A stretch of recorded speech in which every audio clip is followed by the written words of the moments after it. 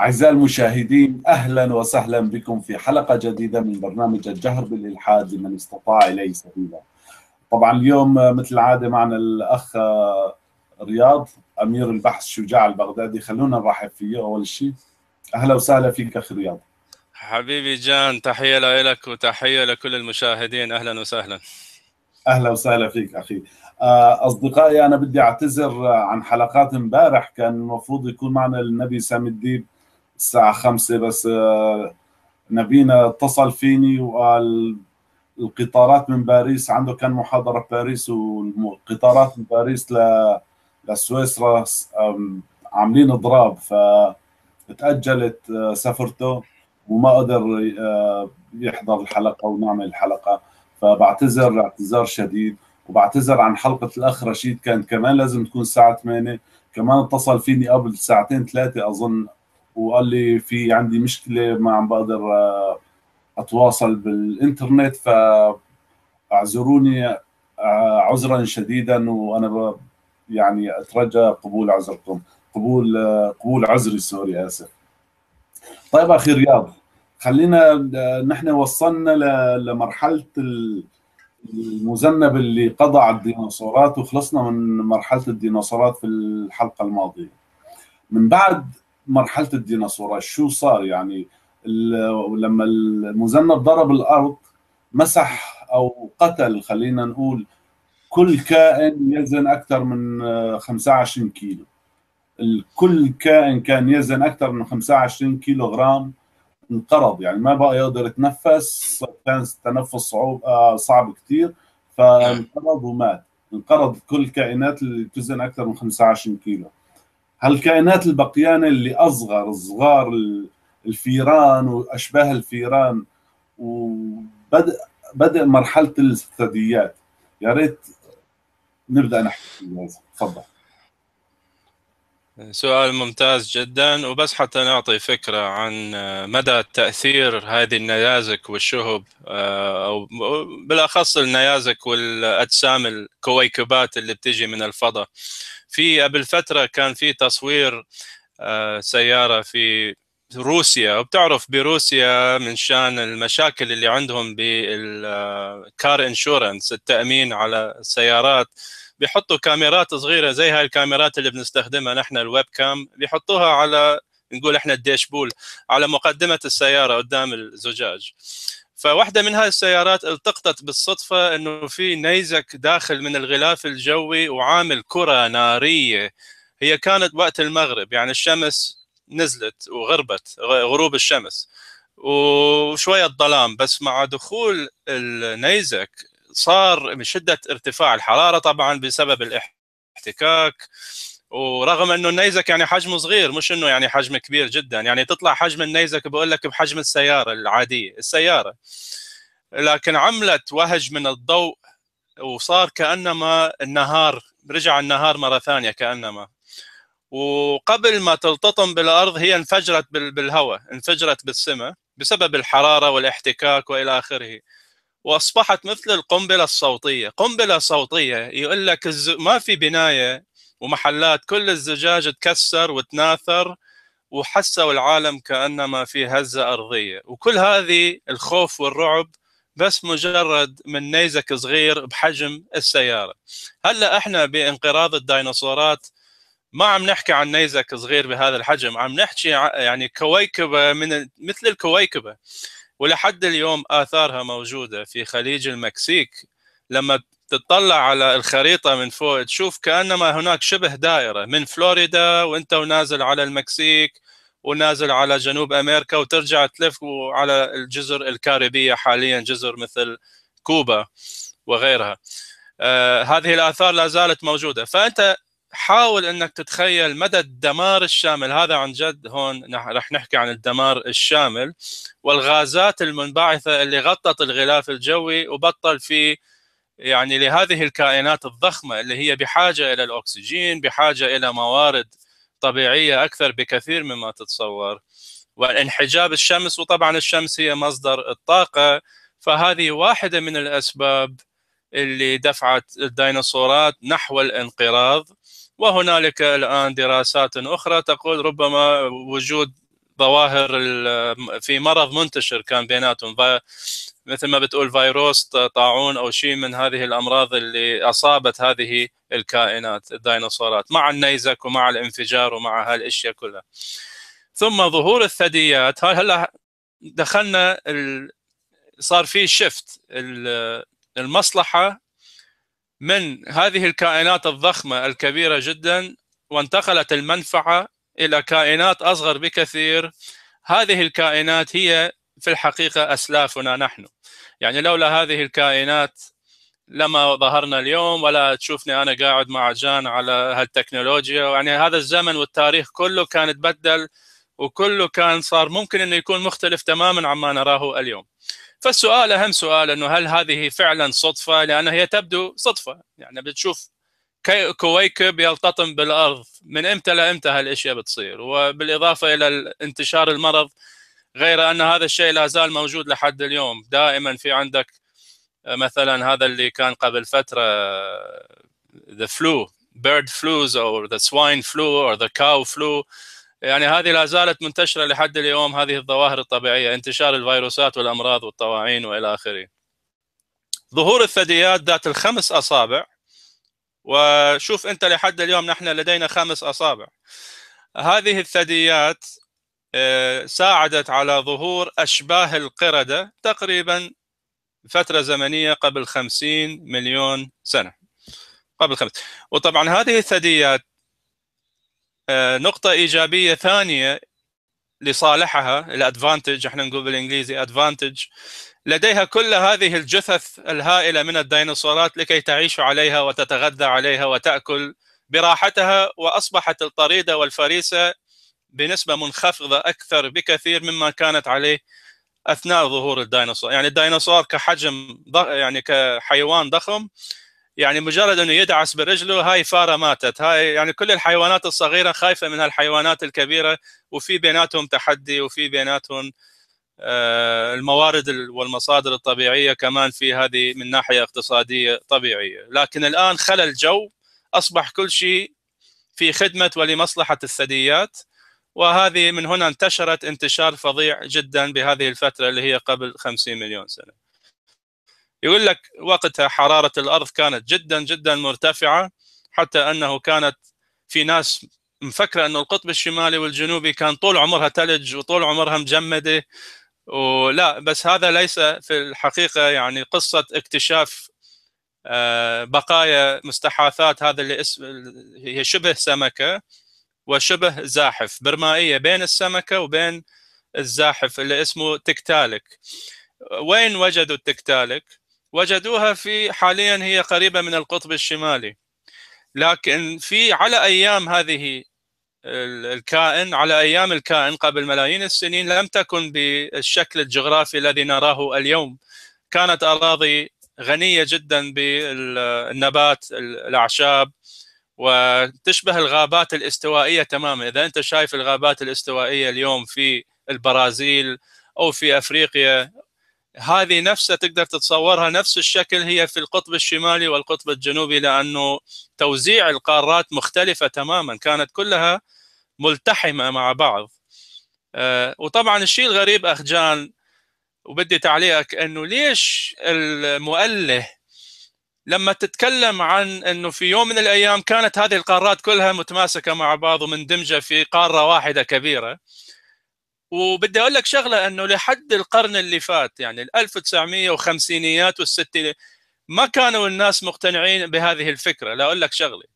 بس من خلال الرسم للأقمار الصناعية لسلسله الجبال اللي موجودة في قعر المحيطات وبحكم دراستهم الجيولوجيا طولت المسألة كثير لف وأخيرا اقتنعوا بهذه هي كانت فرضية ثم انتقلت من الفرضية إلى النظرية. اليوم أصبحت نظرية. ما صار لها أكثر من 50 سنة بس. يعني إنه بالإجماع خلينا نقول بالإجماع إنه العلماء اتفقوا على إنه فعلا هذه القارات كانت في يوم من الأيام قارة واحدة كبيرة. ما عندهم أي مشكلة. بس تعال أحكي لها على التطور والارتقاء اللي هي عندها دلائل أكثر بكثير. لا عندهم مشكلة هون أصبح مش شيء ثاني أخي رياض بصراحة يعني حتى حتى الساعة هي يعني الكرة الأرضية هاي القشرة الأرضية اللي كانت في يوم من القارات الخمسة لبنان معروفة يعني اللي كانت قارة واحدة لحد هالساعه هي ما هي موقفة عن الحركة يعني هي حركة ماشية. ف أنا يعني ما بعرف إذا مليمتر كل سنة أو كم كم مليمتر أو سنتيمتر بالسنة. بالضبط بالضبط. يعني هلا مثلا القرن الأفريقي القرن الأفريقي في منطقة الصومال وأثيوبيا. هي هالساعة هي اللي أنا وأنت عم نحكي فيها عم تصير انشقاقات للانفصال من من قارة أفريقيا كاملة. يعني تطلع من قارة أفريقيا أثيوبيا والصومال. هي بسموها القرن الأفريقي. صح. المسألة ما متوقفة. وإنه يعني بعد ملايين السنين بدها تصير شبه قارة لحالها أو جزيرة لحالها. وال يعني أوروبا راح تضرب أفريقيا عم تطلع لفوق لأوروبا البحر المتوسط راح يختفي راح تصير صح صح. جبلية بدل البحر المتوسط. يعني هلأ اليوم شو اللي عم بيسبب هالأشياء؟ هي الطبقات الأرضية من تحت عم تتحرك كل ما بتتحرك حركة بصير عندنا زلزال. يعني صح صح. صح جبال الألب هي هي ضغط من القارة الهندية شبه القارة الهندية بآسيا فعم تطلع للجبال هي والقشرة الأرضية يعني عم تتغير على طول لحد هالساعة هي ما توقفت يعني. صحيح. أنا بصراحة يعني إذا المؤمنين مصدقين هالمسألة هي صد صدقني ما عن تفكير. بس هيك يعني بركبوها بمخهم شوفوا أفريقيا وأمريكا العمل إذا جبناهم هيك بتطابقوا. فهن بيصدقوا بهال لأنه شايفين الصورة فقط يعني. ما رغم يعني انه أصلا رغم رغم إنه إحنا كمان عندنا شيء بعد أحسن من هيك. عندنا عظام مستحاثات لسلسلة من كائنات عم بتشوف قدام عينك. كيف انتقلت من هذه المرحلة ل... يعني انسى الدي ان اي وانسى الخارطة الجينية الوراثية. روح على المتحف أخذ لك حيوان مثل الحصان. أخذ لك حيوان مثل الدولفين أخذ لك حيوان مثل ال... وحتى الإنسان والبني آدمي لأنه لحسن الحظ عندنا شوية عظام من قبل آه، كم مليون سنة لهذا المكتشفه في أفريقيا وفي أثيوبيا وفي جنوب أفريقيا. بس خلينا من الإنسان يعني أحكي عن الحوت. وتشوف إنه من خلال الهياكل العظمية بس يعني أنا مش مختص ولا أنت متخصص لكن من أنا صغير بمجرد النظر والمشاهدة والمعاينة لأن هم بيحطوا لك هذه ال ال يعني ال الهياكل العظمية واحدة جنب الثانية واحدة جنب بعض بيحطوهم جنب بعض وأنت شوف التسلسل قدام عينك. يعني بضرب لك مثل هون بكندا ولحسن الحظ قريبة علي في منطقة اسمها the Burgess Shale ما بعرف شو ترجمتها بالعربي. the Burgess Shale سفح من الجبل منهار. سفح جبل من هاي جبال الروكي منهار وصارت عندك مبين مكشوف طبقات جيولوجية عبر الحقب الزمنية الطويلة جدا اللي هي من هون اكتشفوا العصر الكامبري والحيوانات والكائنات اللي كانت عايشة.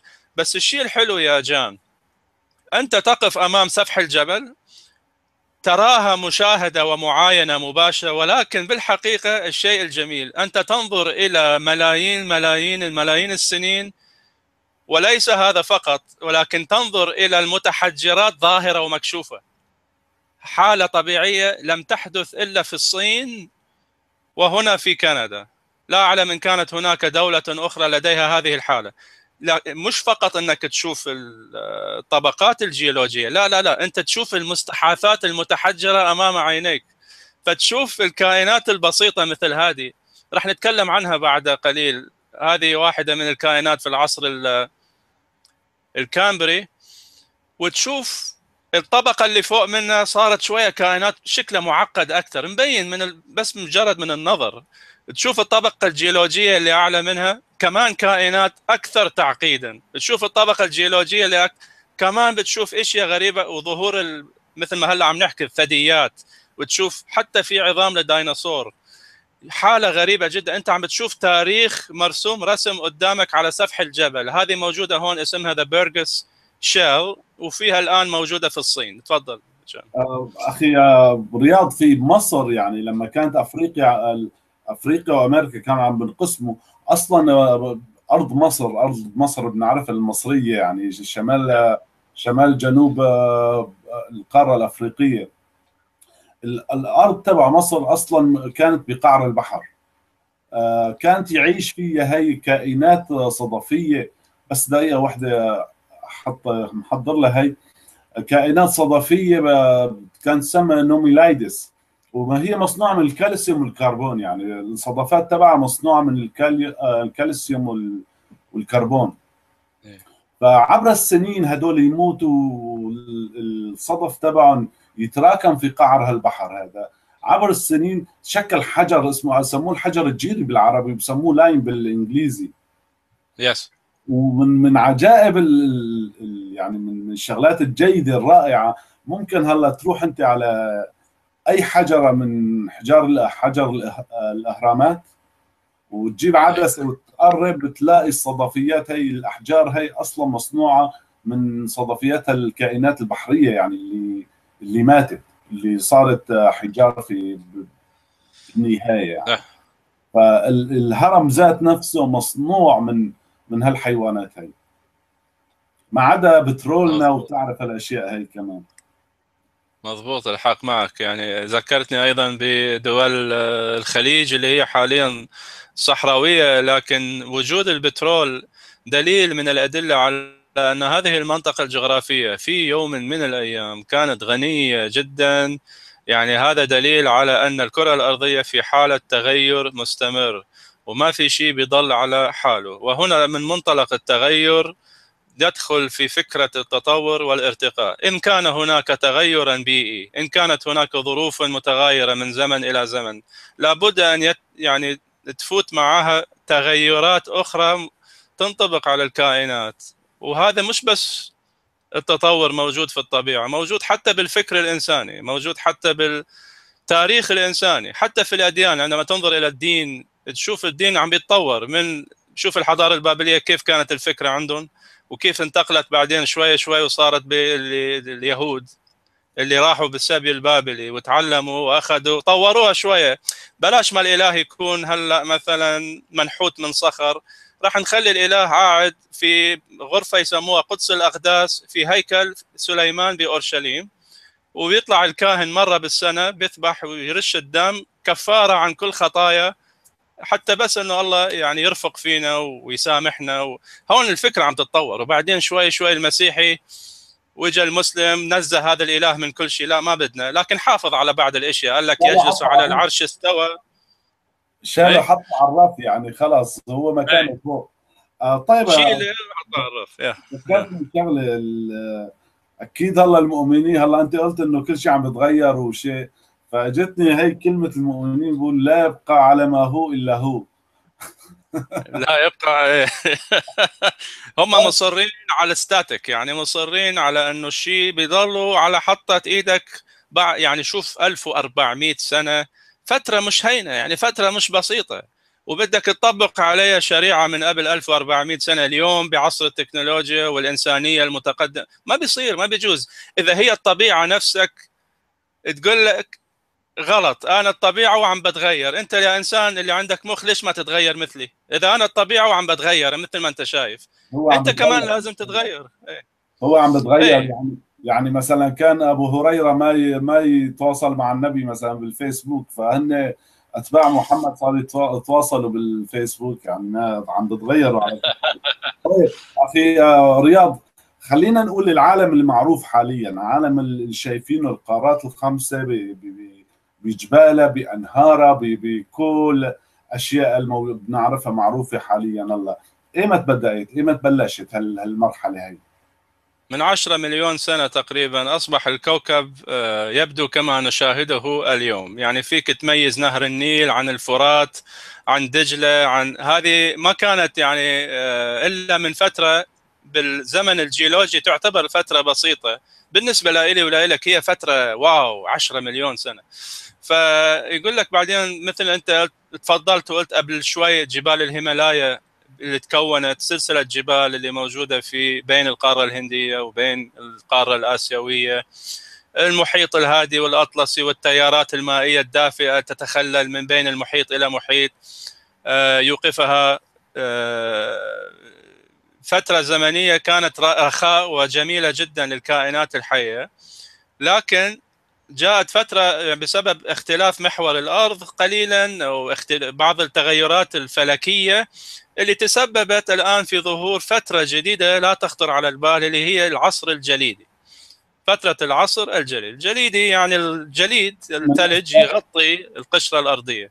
بس من أسبابها هي أخي رياض يعني الأسباب اللي اللي أدت إلى العصر الجليدي هو التقاء ظهور جزر بركانية بين الجنوب المكسيكي هلا بين أمريكا الشمالية وأمريكا الجنوبية حتى التصقت لما التصقوا الأمريكا الجنوبية والشمالية بهالفترة هاي التيار الماء اللي كان المحيطين يلتقوا فيه كان مسبب ل يعني كان مركز خلينا نقول حرارة الأرض.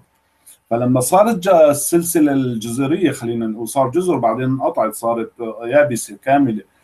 فهالسلسلة هي اللي قطعت المحيط الاطلسي من المحيط الهندي الهادي هي أثرت على حرارة الأرض وتاثير كبير يعني حتى بردت الأرض ووصلت لمرحلة العصر الجليدي. كان وقتها الإنسان وصلان تقريبا يمكن أوروبا وسيبيريا ذاك الوقت.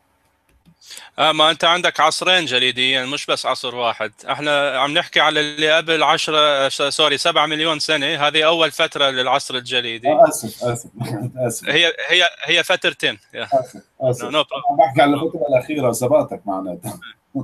ليه سبقتني لقدام شوي. ما مستعجل قوي يا علام.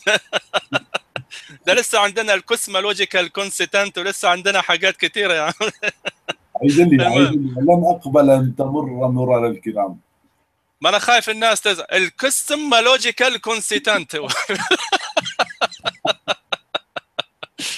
هاي ناخذ فيها بركة في كل حلقة ناخذ فيها بركة.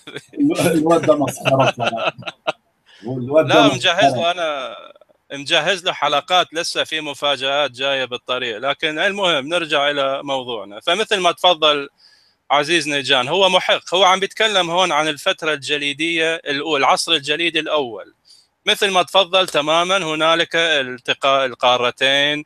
هذه التغيرات بتكتونية الألواح هي تأثر على المناخ بشكل عام جدا. أنت عندك رياح يعني في هذا المسار المعين. عندك رياح في هذه المسار تغير السلاسل الجبلية اللي أصبحت الآن تصد هذه الرياح وتغير من مجرى هذه الرياح. بدل ما تكون شمالية جنوبية أصبحت شرقية غربية مثلا مثلا. هذه أكيد راح تسبب اختلاف وتغير في الطقس والمناخ. وكنتيجة ظهر ما هو معروف بالعصر الجليدي. أيضا ساهم في انقراض يعني نسبة كبيرة جدا من الكائنات. إحنا تكلمنا في الحلقة اللي قبل هيك خمس مراحل انقراض للكائنات بشكل عام منذ بداية نشأة الحياة. وهذه واحدة من الأسباب العصر الجليدي. ثم بعدين لحسن الحظ رجعت الظروف تغيرت من جديد من سبعة مليون سنة. هذه الأشجار الآن اللي تكلمنا عنها هي حتكون السلف اللي موجودة اليوم في أوطاننا نحن في شمال أفريقيا وفي الشرق الأوسط اللي هي البترول أو الخام. ولكن بدل الأشجار ظهرت الأعشاب. الآن أصبح عندنا أعشاب اللي هي شبيهة جدا باللي إحنا نسميها السافانا. اعشاب السافانا اللي معروفة في أفريقيا. وبالنسبة للأعشاب اللي موجودة في المناطق القوقازية وأوروبا هي يسموها steppes. أنا لازلت متذكر ال steppes والسافانا. طيب السافانا هون بدنا شوية يعني ندخل على الكائنات الحية. شو صار يا ترى من هذه الثدييات اللي كنا عم نحكي عنها قبل شوي؟ في حيوان اكتشفوه بعتقد في ألمانيا إذا أنا مش غلطان. إيه I think it was in Germany. وهاليوم سموها إيدا أعتقد. ما بعرف كيف اللفظ بس هي I D A A or I D A يعني إحنا بالعربي كأن عم تقول عايدة مثل ما تقول عايدة.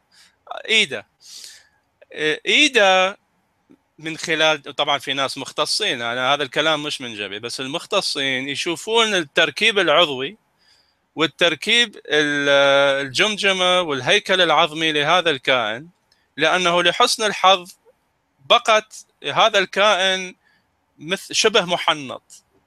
ايده وايده أصغر حجما من القرد اللي تشوفه اليوم هذه النسانيس اللي إحنا نشوفها على الأشجار والقردة المكاك وغير المكاك. صغيرة الحجم هذا بحيث أنها كانت لا زالت شبه محنطة من سبعة مليون سنة. والمختصون يقولون ربما هذه أح يعني واحد من السلسلة واحدة من السلف الذي يتبع ظهور أشباه القردة وأشباه البشر أشباه الإنسان. فهذا لأنه مكوناته العضوية بحيث أنه حتى الجلد لا زال كان الصوف ما أعرف شو تسميه إحنا بس محنط بشكل لا بأس به محنط بشكل جيد جدا. ظروف طبيعية طبعا بالنسبة للظروف الطبيعية.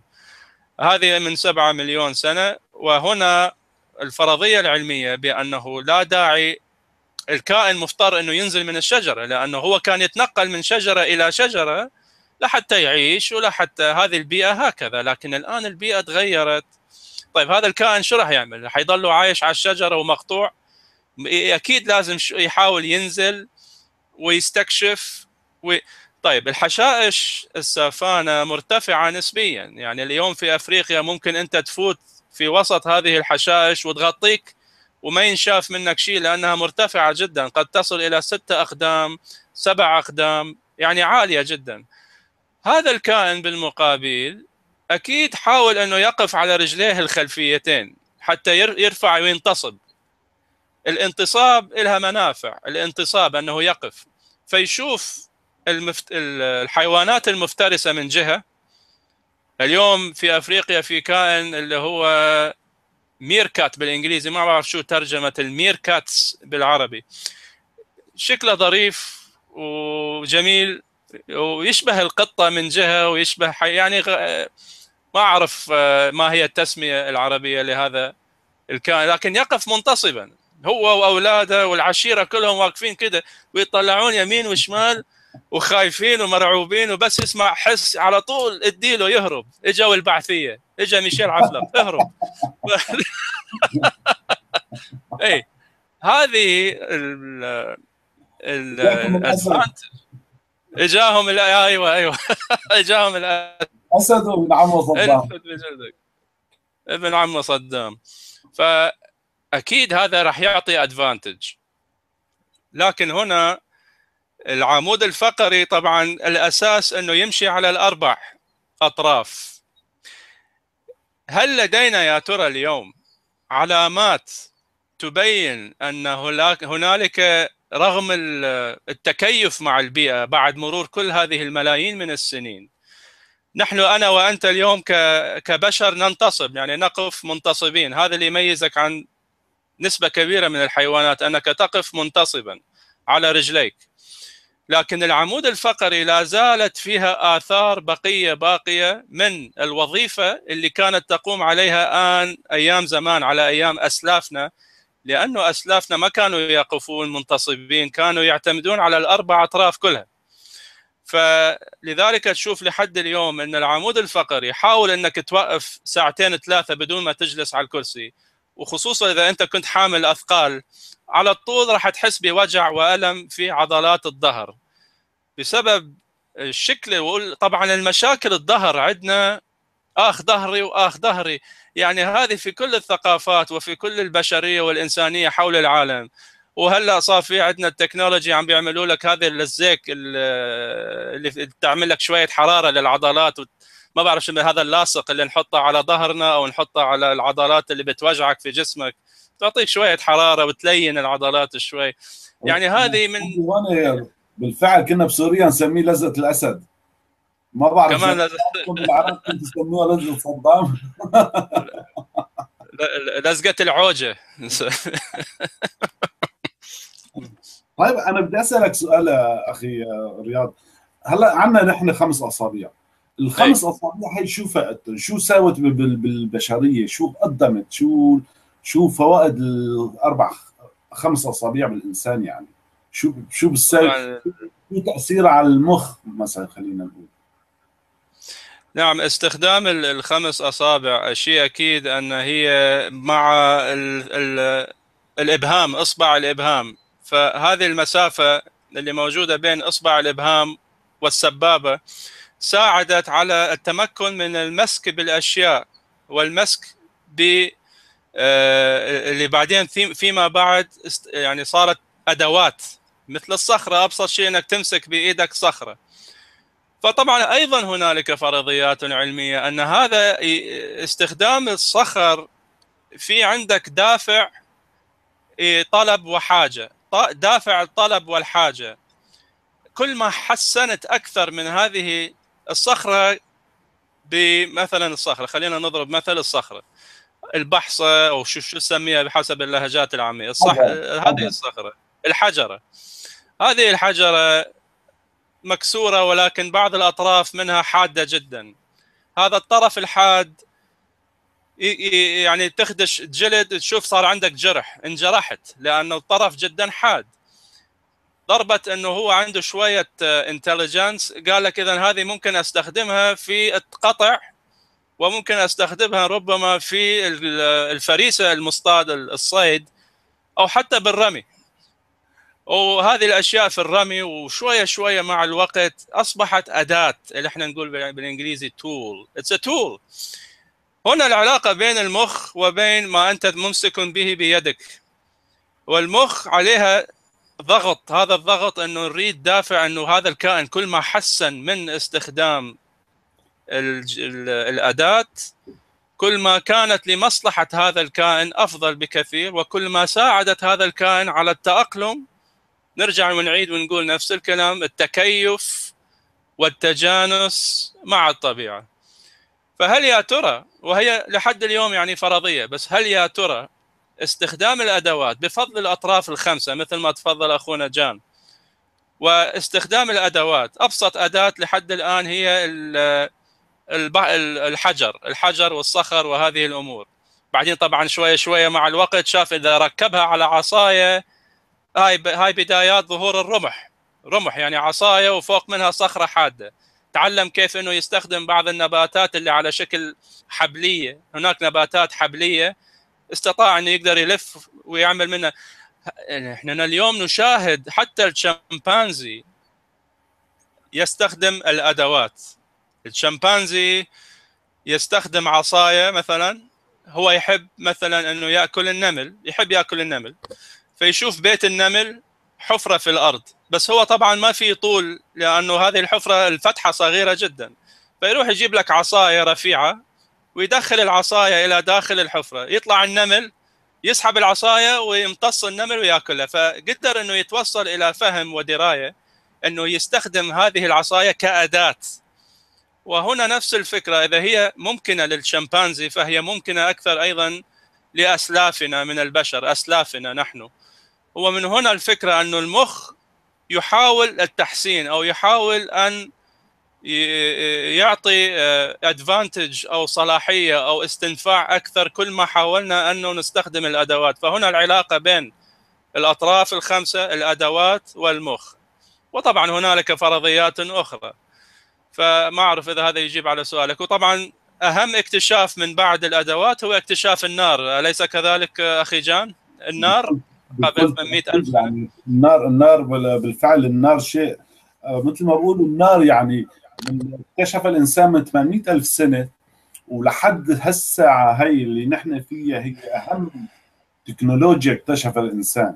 يعني اكتشفوها أسلافنا حتى لما قبل ما يكونوا بشر طبيعيين يعني في لغة في لانجوج في تواصل أو أهم شيء اكتشفوه هو النار. يعني لحد هالساعه هي النار هو أهم اكتشاف. يعني مثلا هلا السيارة اللي بنمشي فيها لولا النار طاقة النار اللي عم تدفع الحرارة هي السيارة ما مشت الطيارة ما مشت الكهرباء هالأشياء كلها من يعني ما بقول خصوصا الطبخ. الطبخ يعني أثر كثير على نمو المخ.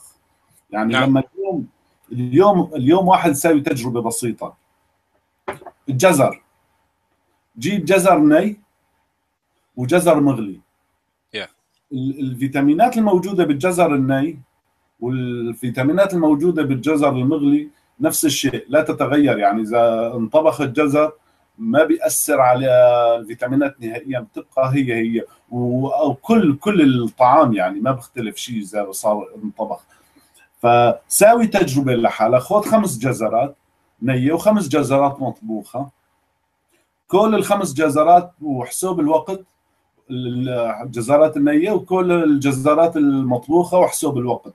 راح تلاقي الوقت أقل من 10% أكيد الجزرات المطبوخة ممكن تأكلها بهالسرعة هاي وتحافظ على نب... تاخذ الحر... السعرات الحرارية المطلوبة بوقت أقل وبجهد أقل. فالنار ساوت. هذا اللي يعني طبعا الدماغ والجسم الإنسان محتاج لبروتين والبروتين كثير مهم لنمو الدماغ فكان يطبخ الأكل مثلا اللحمه خصوصا. فاللحمة لما تأكلها ني مستوية غير لما تأكلها نية. يعني صحيح. تنطبخ تأكلها بسرعة أكثر وهذا ما أدى للإنسان للطفرات السريعة تجي للدماغ يعني. أظن. طبعا. ممتاز ممتاز. 100% إيه، على قولتنا حكيك مطر صيف حكيك 100% مضبوط مضبوط.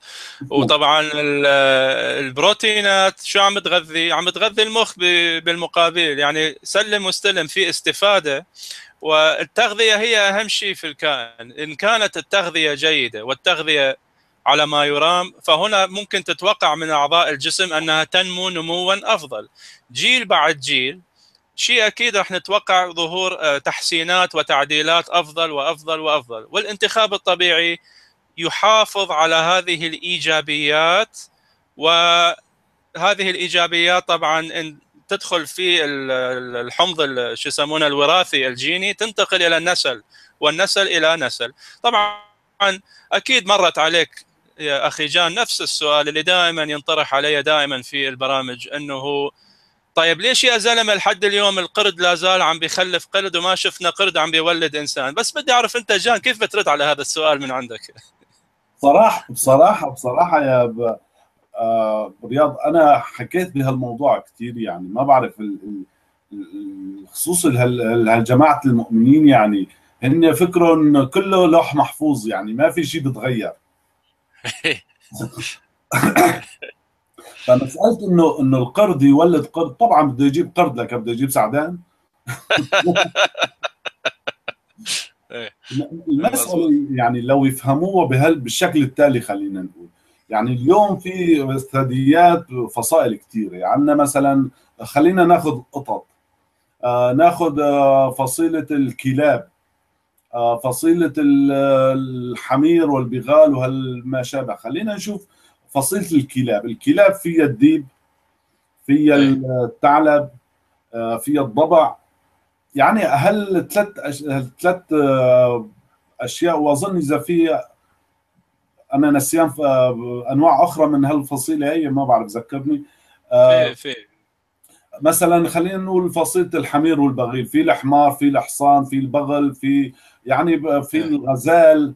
أو في أشياء هيك ماشية. خلينا القطط مثلا في الأسد في النمر في الفهد وفي القطة الصغيرة بنعرفها البسس هي. فالفص... كل فصيلة يعني كل آه، فصيلة في أنواع.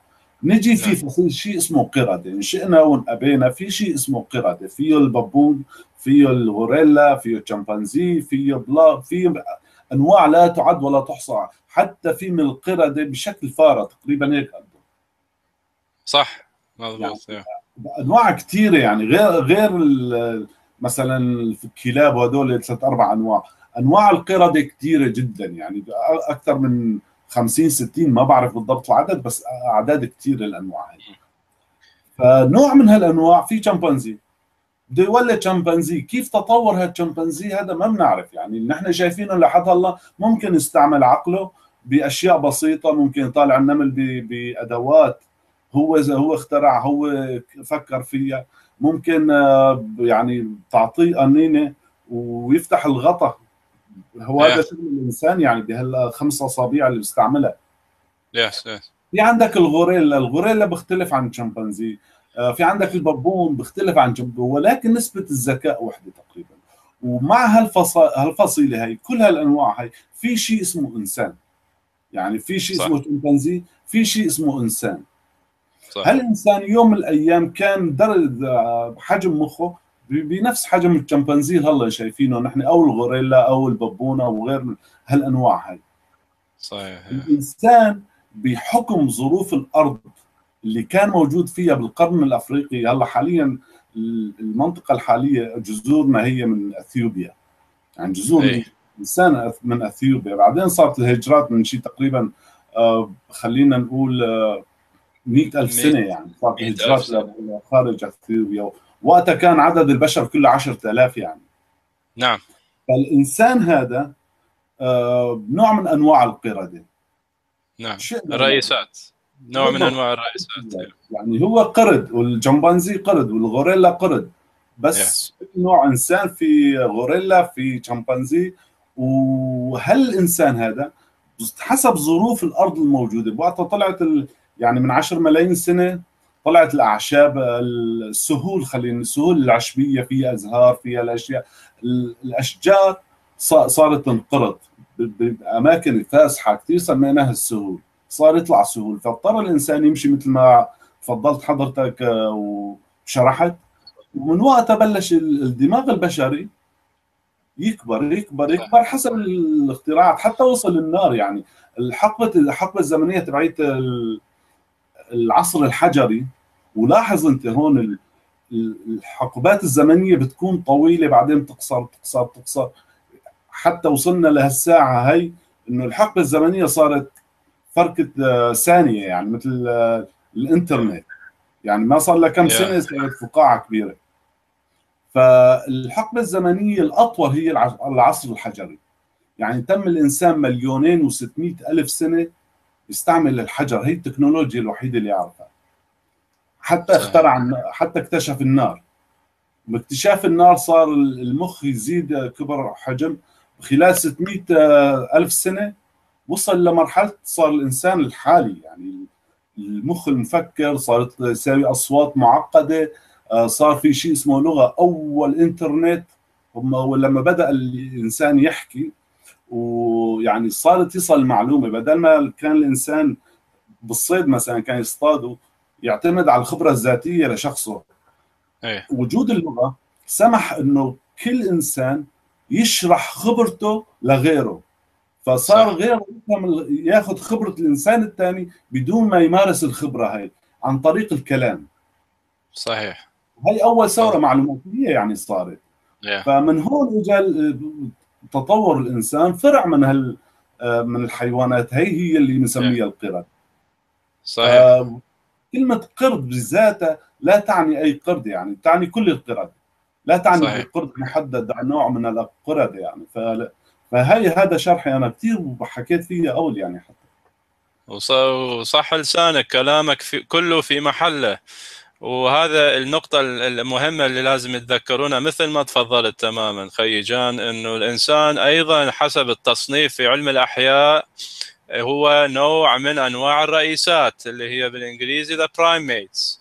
فأنت لما تسأل هذا السؤال يا أخي أنت كأنما تفصل الإنسان في جهة وبقية ال- الفصائل في جهة أخرى وكأنما نحن في كوكب وكأنما هم في كوكب آخر ولكن هذا غير صحيح. مثل ما بين ووضح لنا خي جان وكل الشكر والتقدير على هذه المعلومة انه الإنسان واحد فرع من فروع هذه الكائنات الأخرى. نحن في يعني في عائلة واحدة ابن خال ابن عمة هكذا من عائلة واحدة.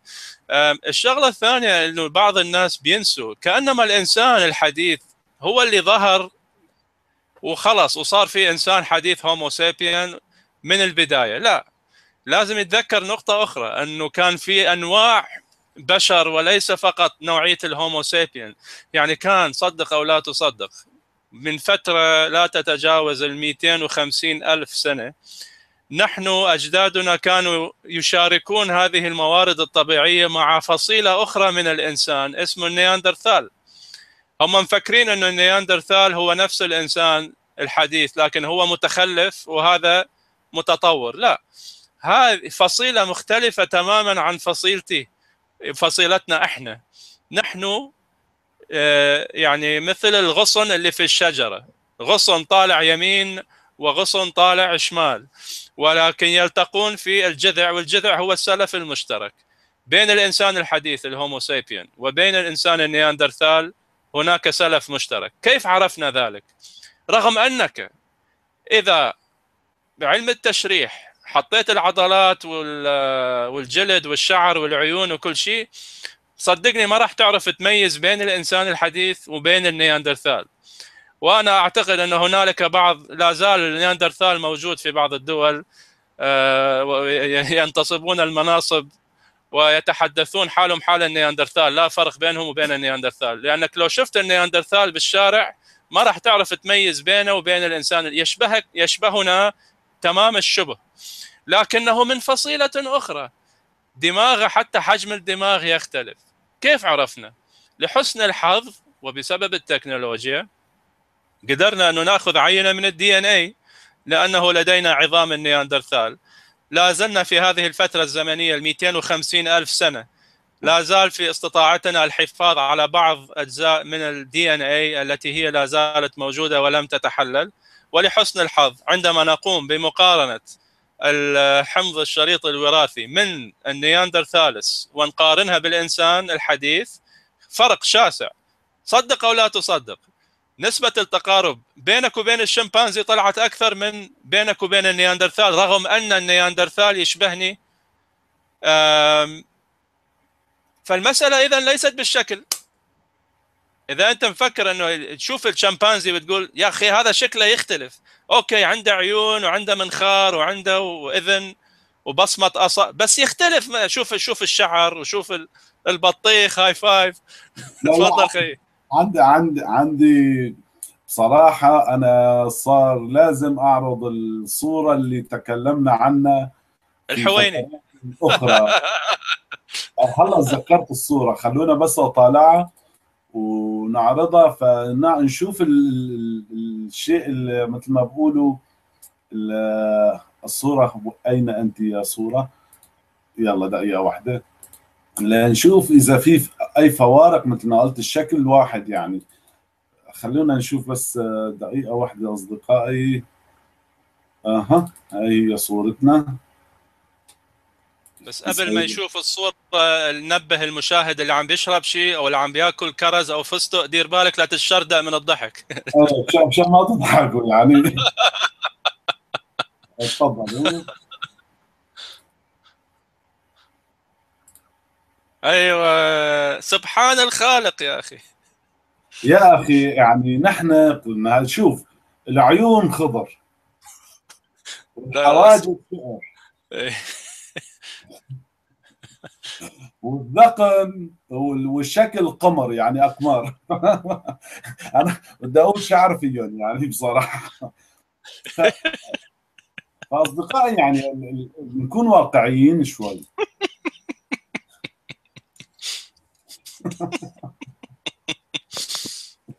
هذا اكبر أكبر دليل على التطور والارتقاء الدارويني. بالضبط يعني يعني هل من المعقول يا جماعة واحد يشوف الصورة هذه ويتم ينكر آه، نظرية التطور؟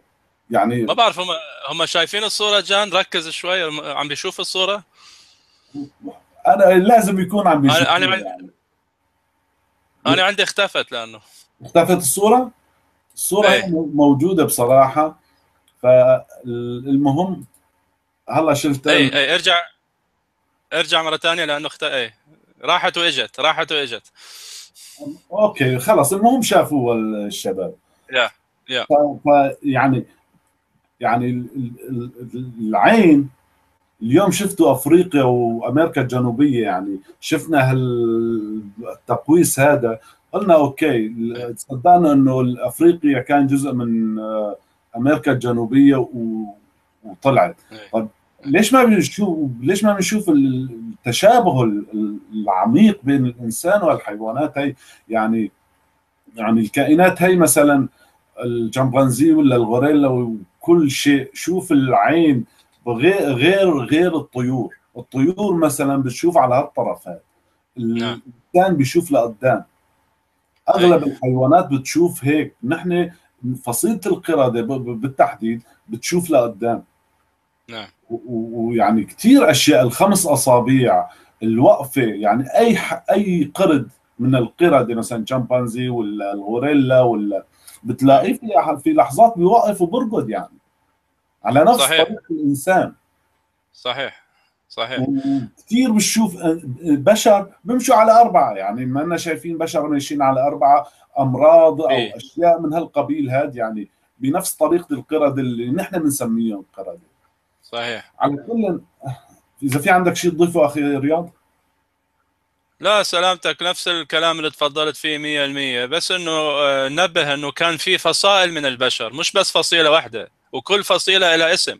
يعني في يعني لما ترجع بالزمن لورا ما راح تشوف الإنسان الحديث فقط. لا راح تشوف إنسان حديث وراح تشوف إنسان قديم اللي هو النياندرثال راح تشوف إنسان اسمه ال Homo ergaster حتشوف إنسان اسمه ال Homo habilis راح تشوف Flores man اللي من جنوب شرق آسيا في جافا راح تشوف نوعيات كانت متواجدة في حقب زمنية في فترة واحدة وممكن واحد بكل سهولة يلتقي بنوع من البشر مختلفين تماما. لكن الظروف سائبت الظروف سائبت أنه يستمر الإنسان الحديث بسبب عقله هو الذي تمكن من البقاء هو الذي تمكن من الاستمرار. ودير بالك هناك إشارات للتزاوج اللي بين الإنسان الحديث وبين النياندرثال. لأنه في الأوروبي الإنسان الأوروبي وحتى الإنسان الشرق أوسطي لما يأخذوا عينة من ال DNA في نسبة تطابق آه، تشابه 3% من النياندرثال موجودة فينا إحنا. يعني DNA من النياندرثال اللي هي specific خاصة فقط بالنياندرثال. مش موجودة عند بقية البشر لكن موجودة في حفنه من البشر الحالي في الوقت الحالي. ربما أنا أحدهم لأن أنا من الشرق الأوسط. والأوروبي أكثر شيء الأوروبي. عندهم نسبة 3% من الدي إن اي النياندرثال. ربما كان في فترة من الزمن تزاوج. بالضبط مثل الحصان ويكرم السامع الحمار يعني هناك تزاوج بين الحصان وبين الحمار فهذه أيضا لازم نأخذها بالحسبان وآخر كلمتين أنه فرضية ظهور الإنسان الحديث من أفريقيا آه، من قبل حوالي مئة ألف سنة وكما تفضل الأخ جان أنه من مجموعة من البشر قد لا يتجاوزون العشرة آلاف فقط. عشرة آلاف شخص هم اللي حاليا كل البشر اللي في العالم يرجعون بالأصل إلى هذه المجموعة البسيطة. تفضل خي جان ما عندي شيء. آه طبعا آه أصدقائي أنا راح أفتح السكاي بعد شوي يعني خمس دقائق ثانية أكيد راح تكون فاتحه سكاي بس في عندي شوية تعليقات اجتني على اليوتيوب خلينا ناخذ هالتعليقات هاي واحدة من التعليقات. آه بيقول آه الأخ أصلاح I think أصلاح. شيء من هالقبيل. ألف تحية أصدقائي الأعزاء. ممكن أسأل رياض عن حجة الخلوقيين عن كروموسوم X المسمى كروموسوم حواء. ما بعرف إذا السؤال وصل. السؤال وصل بس ربما عنده سوء بالفهم. هي الميتوكوندريا فيقومون بأخذ عينة من الخلية داخل الخلية في آه، عضو عويض ما أعرف كيف عويض يعني يعني تصغير كلمة عضو عويض اللي هي organelle بالإنجليزي. هذه ال organelle اسمها آه، الميتوكوندريا. الميتوكوندريا تقدر حتى تفهم دور الميتوكوندريا بالخلية هي تلعب دور البطارية مثل البطارية بالسيارة. تعطي للخلية طاقة. تعطي للخلية طاقة. طب بس الميتوكوندريا من خلال الصبغيات اللي موجودة فيها تتبع النسل الأنثى أو المرأة الأنثى. فالأنثى هذه يستطيعون أن يعودوا إلى بالزمن إلى الوراء حينما يقومون بمقارنة الانزي الصبغيات أو ال DNA اللي مأخوذة من الميتوكوندريا عند الفصيلة أو الكائن الفلاني ومقارنتها بالكائنات الأخرى ويستطيعون تحديد الزمن يعودوا إلى الوراء حتى يصلوا إلى السلف المشترك. هم بالأخير الهدف أنهم يصلوا إلى السلف المشترك. ومن منطلق ما أعرف إذا كان منطلق آه، الثقافي أو المنطلق السخرية سموها إيف. باعتبار إنه الكتب المقدسة تقول أن الإنسان يرجع بالأصل على أساس إنه آدم وحواء. فمن هذا المجال تسمية حواء. ما أعرف شنو السبب لكن إنها هي مثل ما تقول cultural ثقافية سموها the mitochondrial Eve Eve على نسبة إلى حواء. لكن الهدف إنه هذه الناس متخصصين بال genomics يقومون بمقارنة الخارطة الجينية للكائنات المختلفة ومطابقتها محاولين عل وعسى أن يعودوا بها إلى أصل مشترك لهذه الكائنات. هذا كل ما هنالك. ما أعرف إذا هذا الجواب اللي هو قاعد يفتش عليه أو لا وربما أنا فهمت السؤال غلط. ما أعرف. على كل بناخذ تعليق ثاني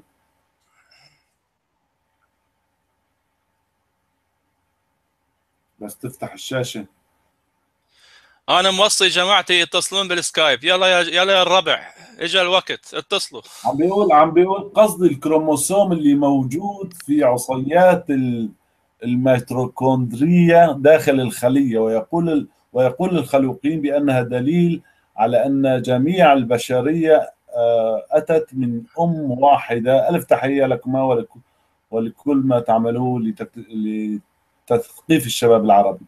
يعني هو آه، عم يقول قصدي الكروموسوم اللي موجود في عصيات الميتوكوندريا داخل ميتوكوندريا. ميتوكوندريا نعم. داخل الخلية آه، طبعا هذا هي قصده. yes ميتا ميتا ميتوكوندريا هذا اسم لل organelle اللي موجود داخل الخلية وداخل الميتوكوندريا في عندك الصبغيات الكروموسومات. وهم يركزوا على الكروموسوم الأنثوي اللي يأتي من الأم اللي يأتي من الأنثى. لأن الأنثى دائما X بينما الذكر في عندك Y أحيانا دخيل هذا ال Y اللي هو الذكري ال Y الكروموسوم وعندك الأنثوي ال X ال X ثابت. باعتباره إنه ثابت وهو الأفضل والمرشح الأول لكي نحاول أن نتتبع نتسلسل نتسلسل إلى الوراء من مقارنة الجينات حتى نصل إلى سلف مشترك. لكن هذا جاوبنا عليه الخلقويين أنه طيب معناته أنت تؤمن بهذه الحالة آه، نحن لا نقول يعني على فكرة بالنسبة للبشر الأفريقي والآسيوي والأوروبي متطابقين فيما بيننا بنسبة 99.9% بس حتى تكون للمعلومه بعض الناس يفكروا إنه إحنا نمشي على منهج سبنسري أو منهج آه، من هذه التطرفات التي يحاولون العنصرية يفكرون أن الداروينية فيها خطورة على العنصرية مفكرين أنه أنت يعني الرجل الأبيض هو الرجل الاسود لا لا لا. نحن في الحقيقة من منطلق علمي رغم التطور والارتقاء كل البشرية حول العالم يعني تقدر بالفعل بالفعل إخوة وأخوات بالفعل إخوة وأخوات لأنه متطابقين فيما بيننا بنسبة 9 الخلقويين لازم هم لا يعترفون بالتطور من ناحية ال macro evolution. انت سامعين بال macro evolution وسامعين بال بال micro evolution. السلف المشترك يختلف تماما عن ما يؤمن به الخلقوي لأن الخلقوي ماذا يؤمن؟ يؤمن بسفر التكوين. سفر التكوين الله يخلق من العدم مباشرة هذا يسموه الخلق المباشر. يعني كان في عندك عدم ما في شيء وفجأة طلع آدم. وفجأة من الضلع أخذ منه ضلع. على فكرة قصة الضلع موجودة في اللوائح الحجرية السومرية البابلية. تسبق الكتاب المقدس بألفين سنة. تسبق الكتاب المقدس بألفين سنة. أنه قصة الآلهة تختلف هي عن طبعا في اختلافات كثيرة بينهم. لكن فكرة أنه يأخذون من الضلع ومن هذا الضلع يك... هذه وين؟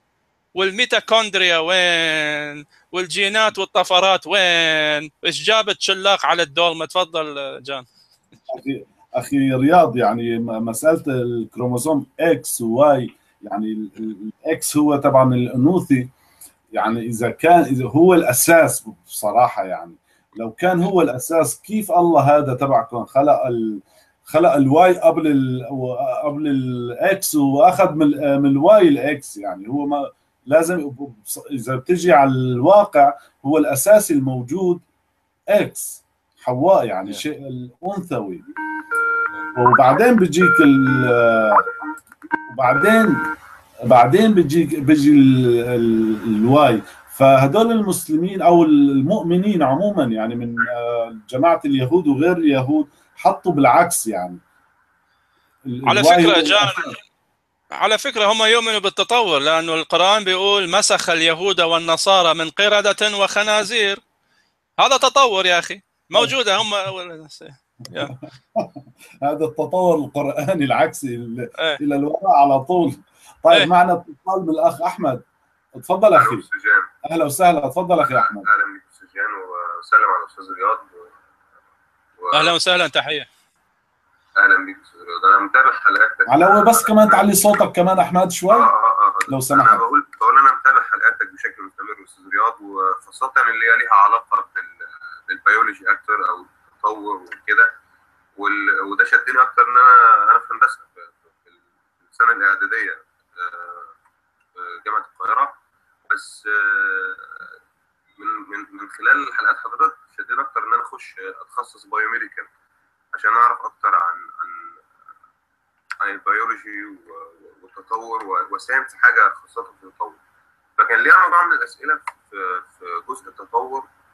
التطور ليه بيبقى بطيء قوي أو بياخد فترات كبيرة عشان يظهر الفروق الواضحة فيه؟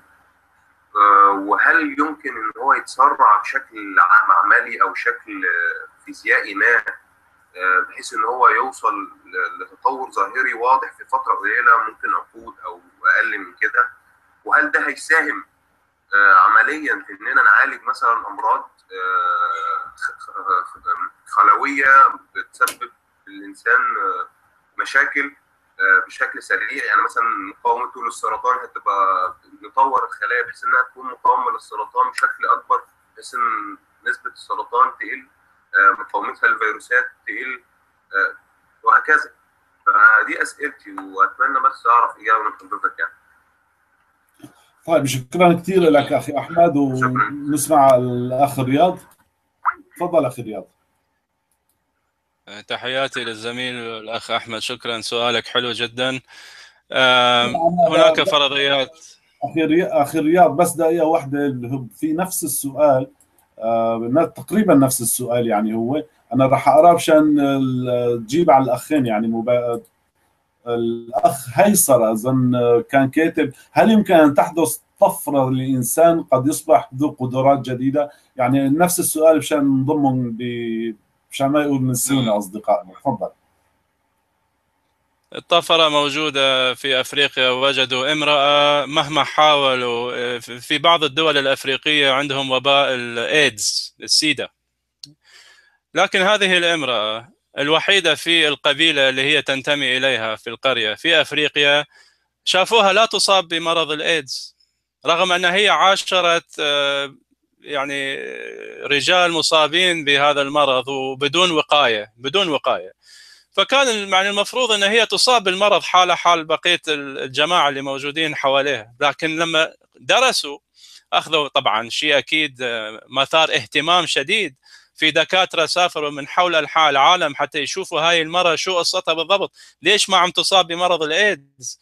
فراحوا لجوا وجدوا في الجين عندها جين طفرة وراثية تسبب مناعة طبيعية ضد فيروس الإيدز.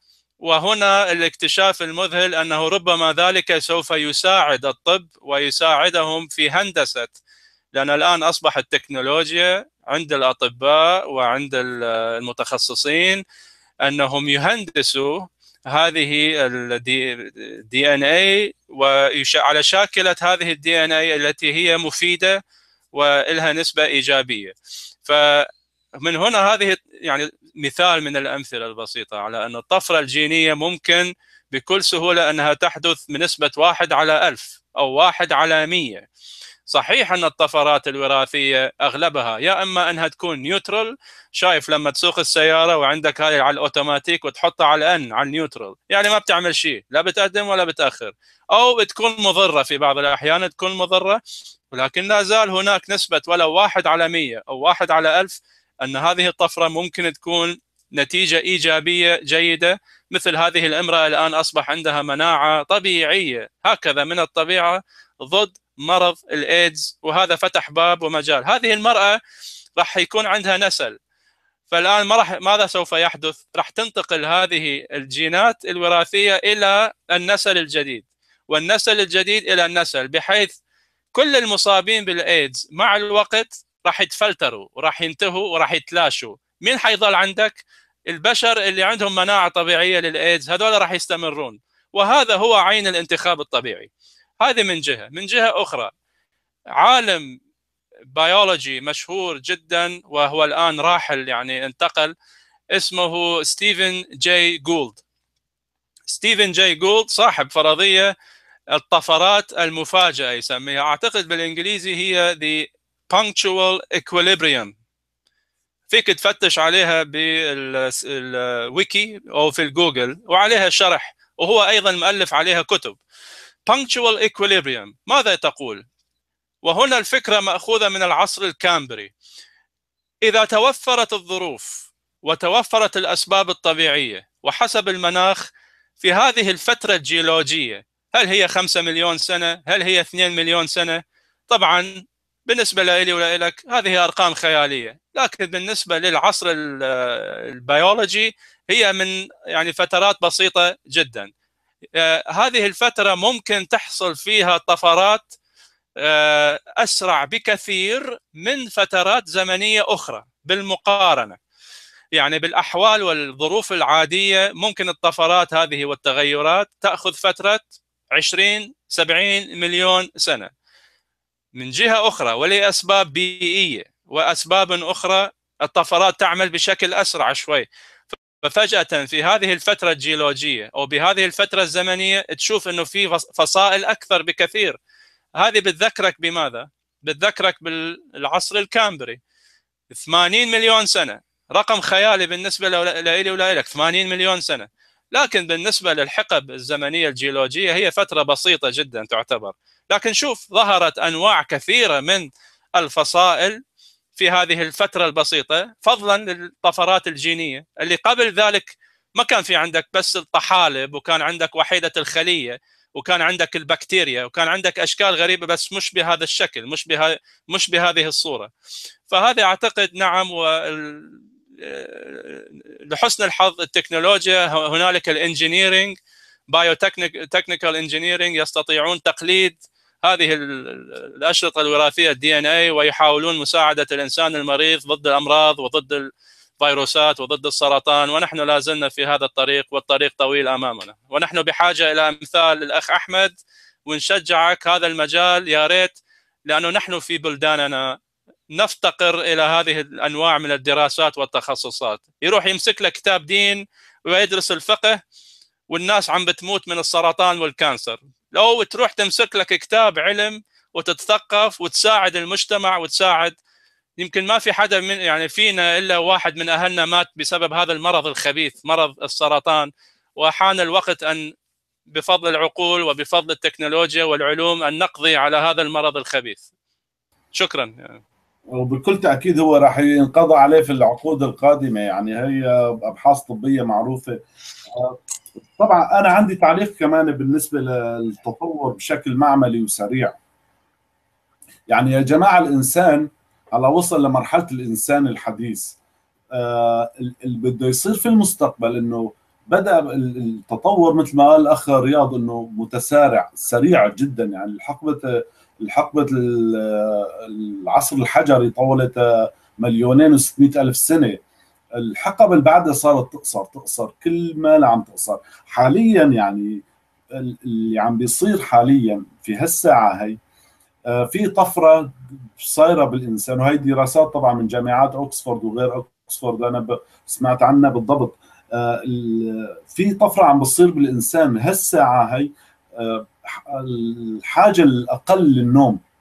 يعني الإنسان بطبيعة فيزيائية جسمه عم بصير احتياجه للنوم أقل أقل من قبل. وهي طفرة جينية. احتمال يجينا يعني خلال مئات السنين يعني ما تطول أكثر يصير الإنسان ما ينام غير ساعة واحدة أو ساعتين مثلا. تخف. في شغلة ثانية بمساعدة التكنولوجيا تطور الدماغ البشري وصل الإنسان في العقود القادمة يعني الطفل اللي عمره سبعة ثمان سنين ما راح يروح يدرس ماما وبابا لا هذا راح ننساه من من مخنا راح يروح يدرس دراسة أكاديمية اليوم طلاب جامعة بيقدموا دكتوراه فيها. فأطفالنا راح تكون تدرس أشياء كانت من من عشر سنين خيالية. فهالتطور هذا التطور كبر الدماغ. من أول ما بدأ الإنسان عم يكبر دماغه حتى وصل هالدماغ نفسه ممكن على استعداد يساوي آلة تخلفه. يعني تطور الإنسان من من البيولوجي إلى التكنولوجيا. يعني بكرة نشوف آه، آه، الإنسان الآلي يعني تتطور ويصير وممكن ننقرض كبشر أشكالنا هي تنقرض ويبقى الإنسان الآلي. فتطور الإنسان بعجله وخصوصا بالمعمل عم تقول بالمعمل. يعني هلأ اكتش شفنا وكلياتنا شفنا وثائقيات لما بيتحكموا بالفارة. بيحطوا عليها جهاز بيتحكموا بالمغناطيس إنه بوجهوها شمال تمشي بوجهوها يمين تمشي. إيه. بهش بهالشيء هذا إن ال- ال- العلماء هلأ اللي عم بالتجارب اللي عم يسووها على البكتيريا انه بكتيريا حية موجهة يعني مثلا أخذت أعطاك قرص دواء. بدك نعم. تبلعه بتحطه ب... ب... مثلا اختصاصه للدماغ فقط. بده يو- خصوصا للزهايمر مثلا في هال هال هالطبقات المتراكمة فوق الدماغ بده يشيلها حتى العقل يرجع ب... الدماغ يرجع طبيعته يشتغل. فببعثوا هالدواء هذا بكتيريا بوجهوها. بدل ما الدواء هلا مثلا أي دواء بناخده لما بتشربه بتوزع على كل الجسم. هن لا بيحطوا له الدماغ مباشرة تروح على الدماغ فقط. ما له علاقة بالجسم يعني ما في أضرار جانبية. وكل ما عم تطور بسرعة يعني. وهذا ال- السرعة سرعة التطور. بهال كل ما له بسرعة بسرعة بسرعة بسرعة بسرعة الإنترنت. أنا كنت تعقيبا على كلامك خي جان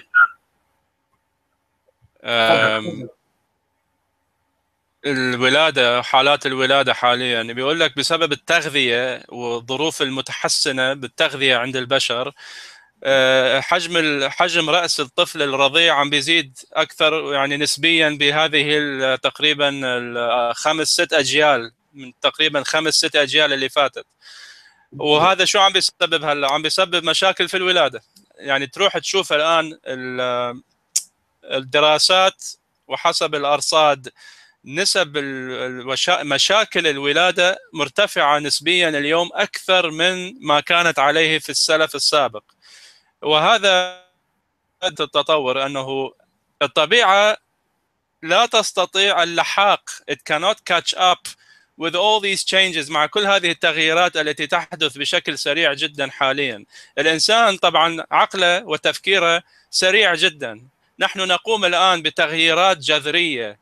بحيث أنه السلف السابق كان بحاجة إلى سنين طويلة لكي يصل من مرحلة إلى مرحلة. نحن اليوم نقوم بطفرات تكنولوجية آه، سريعة بحيث أن الطبيعة نفسها لا تستطيع اللحاق بنا، الطبيعة تعمل على زمن وحقب جيولوجية طويل، شوف انه الآن أصبح حجم الطفل الرضيع، الأم الأم وتشوف هاي البرامج الصحيه وكلي سبانخ. واعملي لك سلطة واعملي لك وكله قدامك بالمطبخ، وين كان أيام زمان؟ يعني أسلافنا لازم يروح يأخذ له الحجر هذا اللي كنا عم نحكي عنه ويروح يشوف الصيد بالغابة ويا عالم راح يرجع من الصيد ولا ما راح يرجع من الصيد يمكن راح يفترس ويأكلوه ويموت. و... هذه الصعوبات اللي أيام زمان. هلأ التكنولوجيا تروح تفتح الثلاجة اللحم قدامك الخضار قدامك كل شيء قدامك الحليب. فهذه ال- ث- ثورة هذه بالحقيقة ثورة بحيث إنه عم بتساعد بتغييرات الطبيعة ما عم تلحق عليها. اذا رأس الإنسان عم بيزيد حجمه لكن القناة المهبل وقناة الولادة عند المرأة لا زالت على حالتها مثل ما هي منذ ملايين السنين لم تتغير بعد. فالآن تصير عندنا مشاكل عسر في الولادة. هذه يمكن مثال بسيط من الأمثلة آسف على الإطالة تفضل خيي جان إذا في أسئلة أو في مشاركات.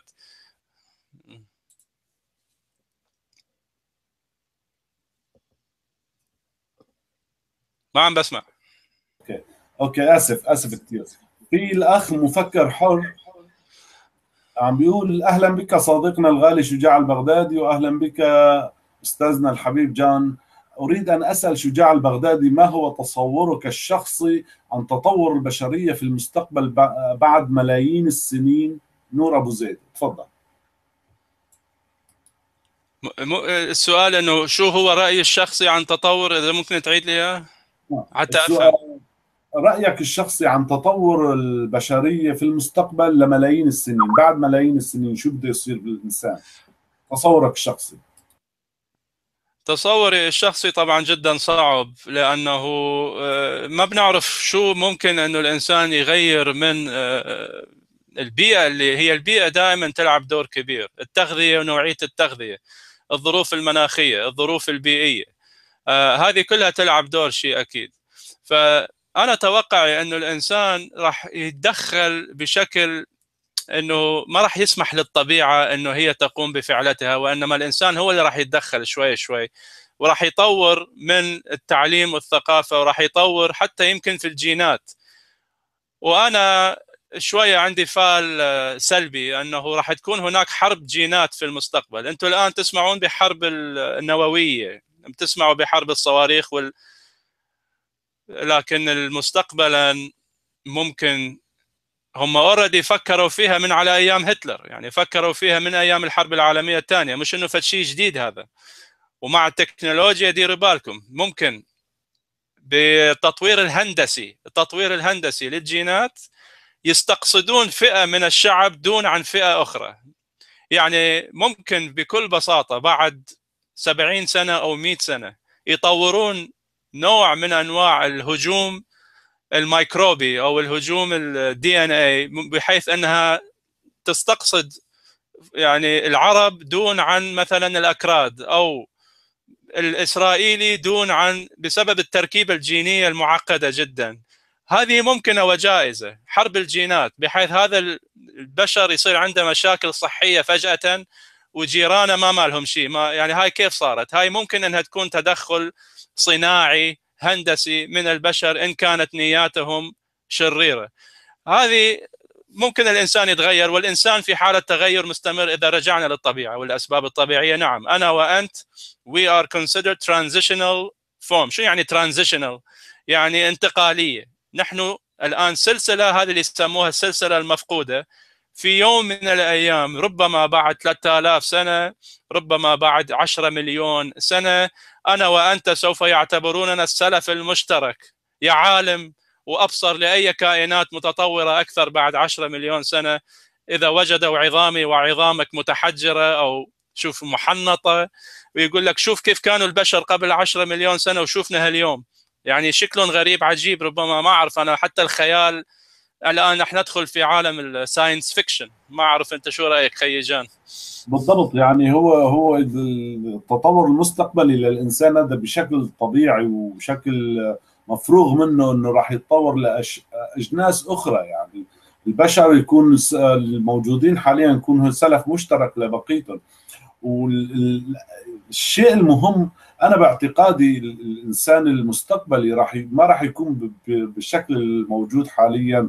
كلحم ودم وعظام وهالأشياء هي يعني أنا بتصور راح يكون شكل كمبيوتري مثلا. يعني هلأ كثير علماء في نظرية بتقول نحن سيميليشن يعني نحن حالة افتراضية. يعني مثلا خلينا نعطي مثال على إنه الذرة المعروفة هي العنصر الأصغر عنصر موجود في الكون. إذا جيت على الإلكترونات اللي عم بتدور هي طاقة ليس أكثر ولا أقل. النواة اللي بتتكون من كوار كل كوار الكوايات الموجودة داخل النواة هي طاقة. فبالتالي الذرة نفسها طاقة ما ليس جسم صلب ما هو صلب يعني. فلما الذرة هي عم تساوي مثلا جسمي وجسمك وهالكمبيوتر وهالأشياء هي الصلبة عم نشوفها نحن صلبة هي بال, بال بالذرة بذرتها ما هي صلبه هي طاقة فقط. ف يعني ما ما نكون بعيدين إنه نكون نحن برنامج كمبيوتر يعني.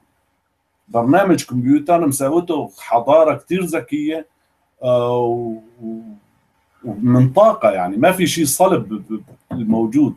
فممكن الإنسان ذات نفسه في يوم من الأيام يساوي simulation لحضارات هو يخترع على كيفه يعني.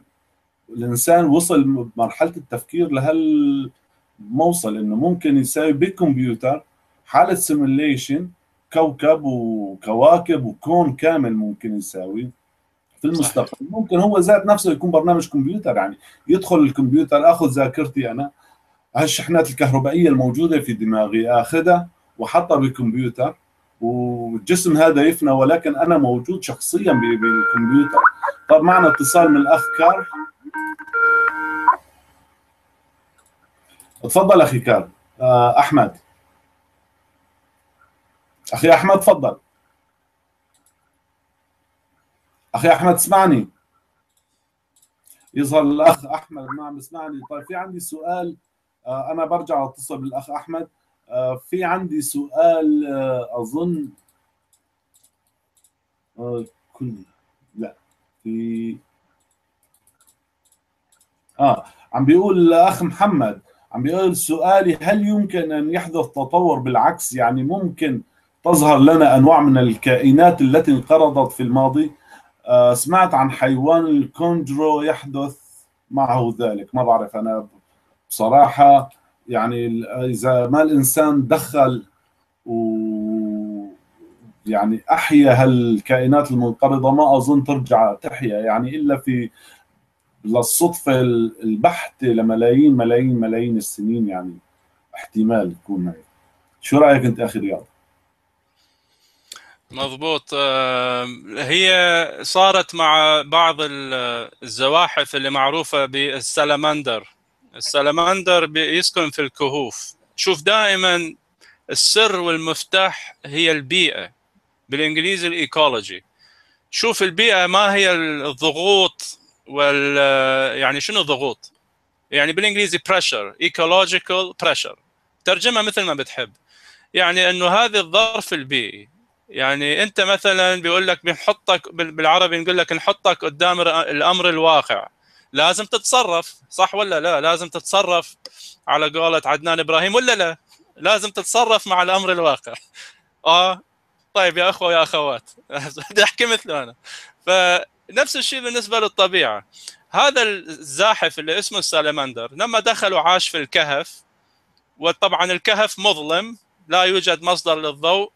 شو صار مع هذا تخلص من العيون. اذا لا حاجة إلى العيون. صار أعمى. أه، تخلص حتى من لون البشرة. بطل عنده لون. صار هلأ لونه أبيض مثلا. شوف لونه أبيض ناصع. بينما لما تعود بالزمن وتشوف الأسلاف لهذا الزاحف بالعكس كان شكلهم مختلف تماما. هلأ ما صار عنده عيون ما صار عنده لون وأشياء ثانية كمان تغيرت. ليش؟ بسبب الظروف. فممكن يعني اختصارا نعم ممكن للكائن إنه يرجع لورا. مش إنه يرجع لورا وإنما يفقد يفقد بعض الاكتسابات اللي عنده. يعني أنت شايل على ظهرك أحمال ثقيلة وتطلع الجبل. حتى تطلع الجبل بشكل أسرع تتخلص شوي من بعض الأحمال الأخرى حتى تخفف على نفسك وتطلع الجبل بشكل أسرع. فهذه ممكن أنها تحدث في الطبيعة وتحدث دائما. حتى في أستراليا روح شوف أستراليا الحيوانات الغريبة العجيبة. عندك طير اسمه الكيوي تخلص من الأجنحة. عمرك شايف أنت طائر بدون أجنحة؟ روح شوفه باستراليا تفضل خيي جان. آه، طيب آه، في عندي آه، صلاح أظن ويل صلاح بيقول كل البشر مؤمنين وملحدين يعترفون بالتطور السلوكي للبشر ويتفقون أيضا في التطور البدني للحيوانات ولكن عند موضوع الإنسان نجد المؤمنين يتحولون إلى حيوانات لا يفقهون. أرجو إيصال سلامي للأخ واستاذي رياض البغدادي. واجمل تحية لك على مجهودك في نشر الفكر الحر. شكرا لك أخي ويل صلاح. لو حبه آه، طيب آه، في عندك أي تعليق على ال أنا خي جان بس حدا عم بيسأل على ال text لأن أنا كمان عم بتابع معك على ال live باليوتيوب آه. في خي عم بيسألني سؤال آه، بخصوص هل العلم وجد تفسير للخليه الأصلية الأولى وكيفية يعني هو بده يعرف إنه هل العلم توصل إلى اكتشاف نهائي على هالخلية الأولى اول ما بلشت. طبعا آه، فينا أقول لك إنه هناك تقدم ملحوظ في هذا المجال. لكن كجواب مختصر إنه هل هنالك خلص فرضية واحدة ثابتة الكل متفقين عليها؟ للأسف لا، لا زال هنالك افتراضيات كثيرة، أنا نبهت في إحدى الحلقات يا ريت له كل واحد يحاول إنه يقرأ هذا الكتاب اللي هو The Origin of Life. واضح من عنوان الكتاب يعني أصل أصل الحياة أو نشأة الحياة. المؤلفين ليش هذا الكتاب؟ لأن المؤلفين هم اليوم يعتبرون الأوائل في هذا التخصص. هذا المجال من جامعة هارفارد طبعا جامعة هارفارد في غنى عن التعريف هي من أكبر الجامعات العالمية المشهورة. وهذه أسماء المؤلفين بالإنجليزي. اللي هو سوستاك. عندك سوستاك؟ وعندك ديمر ديفيد ديمر جاك دبليو سوستاك. وفي هذا الكتاب إجابة على الكثير من التساؤلات والأسئلة حول نشأة الحياة وهل هنالك فرضيات علمية جيدة جدا ممكن أن تفسر لنا؟ طبعا موجودة وراح تتعجب. يعني راح تشوف مثلا هذه اللي تكلمنا عنها في واحدة من الحلقات اللي في أعماق المحيط عندك هذه المدخنة المداخن. اللي يطلع منها فوسفات ويطلع منها غازات. بالنسبة لي ولك لا نستطيع أن نتحملها ولا نستطيع أن نعيش لكن هنالك وجدوا كائنات متأقلمة ومتجانسة مع هذه الظروف. ممكن أن هذه كانت واحدة من ظواهر أصل الحياة نشأة الحياة على الكرة الأرضية. ربما هنالك البلورات الكريستال في الطين. هذه أيضا فرضية أخرى. هنالك المكونات العضوية البروتينات على سطح النيازك. اللي تأتي من خارج اللي يسموها بام سبيرمي بام تشوف إنه في هنالك فرضيات كثيرة. أرجو أن يكون هذا جواب مختصر وآسف على الإطالة. ولا يهمك ولا يهمك. على كل حال أنا في عندي تعليق من الأخ ماريو. الأخ ماريو عم بيقول الإسلاميين أليسوا طفرة العصر الحديث؟ وبالفعل الإسلاميين هم طفرة العصر الحديث بكل معنى الكلمة. أنا عم بحاول أتصل بالأخ أحمد لكن الأخ أحمد كارل. لكن يظهر عنده النت مو شغال فما عم بيضبط الاتصال للأسف الشديد. ما بعرف إذا في عندي تعليق ثاني على على اليوتيوب. إذا شايف أنت اي تعاليق جديده يا أخي رياض؟ أنا عم بحاول أتابع بتشكر منكم واحد واحد يا إخوان يا أخوان. أنا I recognize بعض الأسماء اللي قاعد اشوفها على ال list من المتابعين أيضا عندي على القناة. وطبعا بوسات و thumbs up شكرا لكم. يعجبني دائما أن أشوف مداخلاتكم ومشاركاتكم. والأخ جان عنده أسفل الشاشة وسائل الاتصال بالسكايب. شيلوا التليفون عادي اتصلوا بالسكايب وما تستحون. في بعض الناس أخ جان عندهم شوية خجل وأنا لا ألومهم بصراحة. لكن you have to break the ice. جرب مرة واحدة بس وبعدين حتصير عندك زلاطة. ولا شو رأيك؟ بالضبط بالضبط. هو هو هي الضربة الأولى. يعني الخوف الخجل اللي هي بالمرة الأولى بس. بس فتحت شوي شفت النور خلاص انتهى. بدك تفتح البرداية على البرداية على آخرها مثل ما بقولوا طيب عندي عندي شغلة يا أخي. اليوم اجاني تعليق. أنا شخصيا أنا مسيحي مندس بين الملحدين ولا ولست ملحدا. شو تعليقك؟ مين المسيحي؟ أنا. أنت مسيحي ما بيعرفوا اشلح الفانيلا وورجيهم الصليب اللي أنت شايله على صدرك يا أخي يا أخي. ولو ما تخفيها عليهم. وبعدين بالعكس. هو فعلا مخلص. أنت ينطبق عليك لقب المخلص. مش هم بيقولوا عليه المخلص للمسيح؟ فأنت كمان عم بتخلصنا. المخ... وخلصان. أنت من من من, من عندك خلصان خال... يعني أنت جاي تخلصنا من الظلم ومن التخلف. وهاي الحلقات اللي عم بيقدمها اخينا جان هو فعلا مساهم. يعني هو هو, هو تعليق يعني مثير للسخرية للأسف الشديد يعني. ويعني ما في ما في مثل ما بقولوا ما في رد عليه ما لا يلبق الرد عليه يعني. أنا تفاجأت بالسؤال يعني شو جاب لجاب صراحة يعني أنا أنا تفاجأت إنه شخص عم بقول أنا ملحد ومن زمان ولكن أنت كيف؟ أنت صورة تشوه الإلحاد وأنت أكيد مسيحي تتظاهر بالإلحاد وهالحكي الفاضي هذا يعني طبعا للأسف وفي كل ثقافة راح تشوف ناس متشددين. بالعكس هذا الكلام الصادر من هذا الشخص الفلان. وأنت عندك مكالمة خي تفضل أهم شيء المكالمة هلا تفضل. مساء الخيرات اهلين وسهلا ليدو تفضل. شكرا شكرا. أنا أود أود أن أحيي ملك البحث امبراطور العفو حبيبي العفو. أنا إنسان عادي طبيعي جدا. أشكرك. شغلة ليدو ليدو خلينا نلغي هي إمبراطور وهلا هالتفاهات هي خ... إله البحث. شجاع البغدادي بركات. الجزائر اتابعه بكثره هو يمكن تتعرف عليه من التعليقات عرفت؟ حبيبي أشكرك تسلم. إذا أنا أصبحت إله لكن خليني أعطيكم بركات. تيزاز كرايست إذا أنتم سامعين فيها. على كل رياض رياض في عندي حتى نهديك إله بالمفيد المختصر يعني. تسلم حبيبي. أنت هذا من ذوقكم يا جماعة. ولو العين ما بتعلى على الحاجب. أنتم أسيادي. لا لا تسلم يا طيب. ما في حدا سيد حدا يا رجل. نحن أحرار. أنا أود أن أوجه سؤال للاخ البحث شجاع البغدادي أه، اساله يعني ما هي- يعني خارج الموضوع قليلا لكن يمكن أن يجيب في حلقة أو حلقات أخرى إن أراد الآن. يعني ما هي أخطر طائفة مسيحية وما هي أخطر طائفة في الإسلام؟ هذا هو السؤال تاعي. هذا فقط. هو السؤال تاعي أنا تصد فقط يعني مش مطلع على نظرية التطور والاخر طيب لكن أني اتابعه بكثرة أردت الاتصال يعني. شكرا كثير آه، ليدا شكرا كثير. طبعا جمهوره وصديقنا آه، الرائع شجاع يعني نحترمهم واهلا وسهلا فيهم ونحن نعرف يعني هو رجل فكر يعني بصراحة. ف خلينا نسمع السؤال السؤال الجواب من الأخ رياض. تفضل أخي. شكرا شكرا. أنا يعني فخور في كل المشاركين وأصدقائي من القناة وكلنا في الحقيقة قناة واحدة سواء كانت الجهر أو أمير البحث أو كلنا في بوتقة واحدة.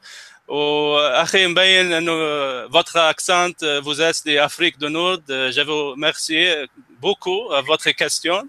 وحتى الناس تفهم علينا لازم ندخل بالعربي ونقول إنه من وجهة وجهة نظري الشخصية إنه الطائفة الإنجيلية الخمسينية يسموها ان انجلش بنتكوست أو بنتكوستال بنتكوست وهذه الطائفة أنا بنظري الخاص هي من أخطر الط- الطوائف المسيحية البروتستانت المتعجرفة الحرفية النصية الخلقوية لأنهم بطبيعة إيمانهم يعارضون العلوم تماما. يعني هم أكثر المتصدين وهم أكثر المحاربين للتقدم العلمي وخصوصا في مجال البيولوجي. أخي هم حتى يكذبون ال Big Bang هم حتى يكذبون نشأة الكون قبل 13 بليون سنة.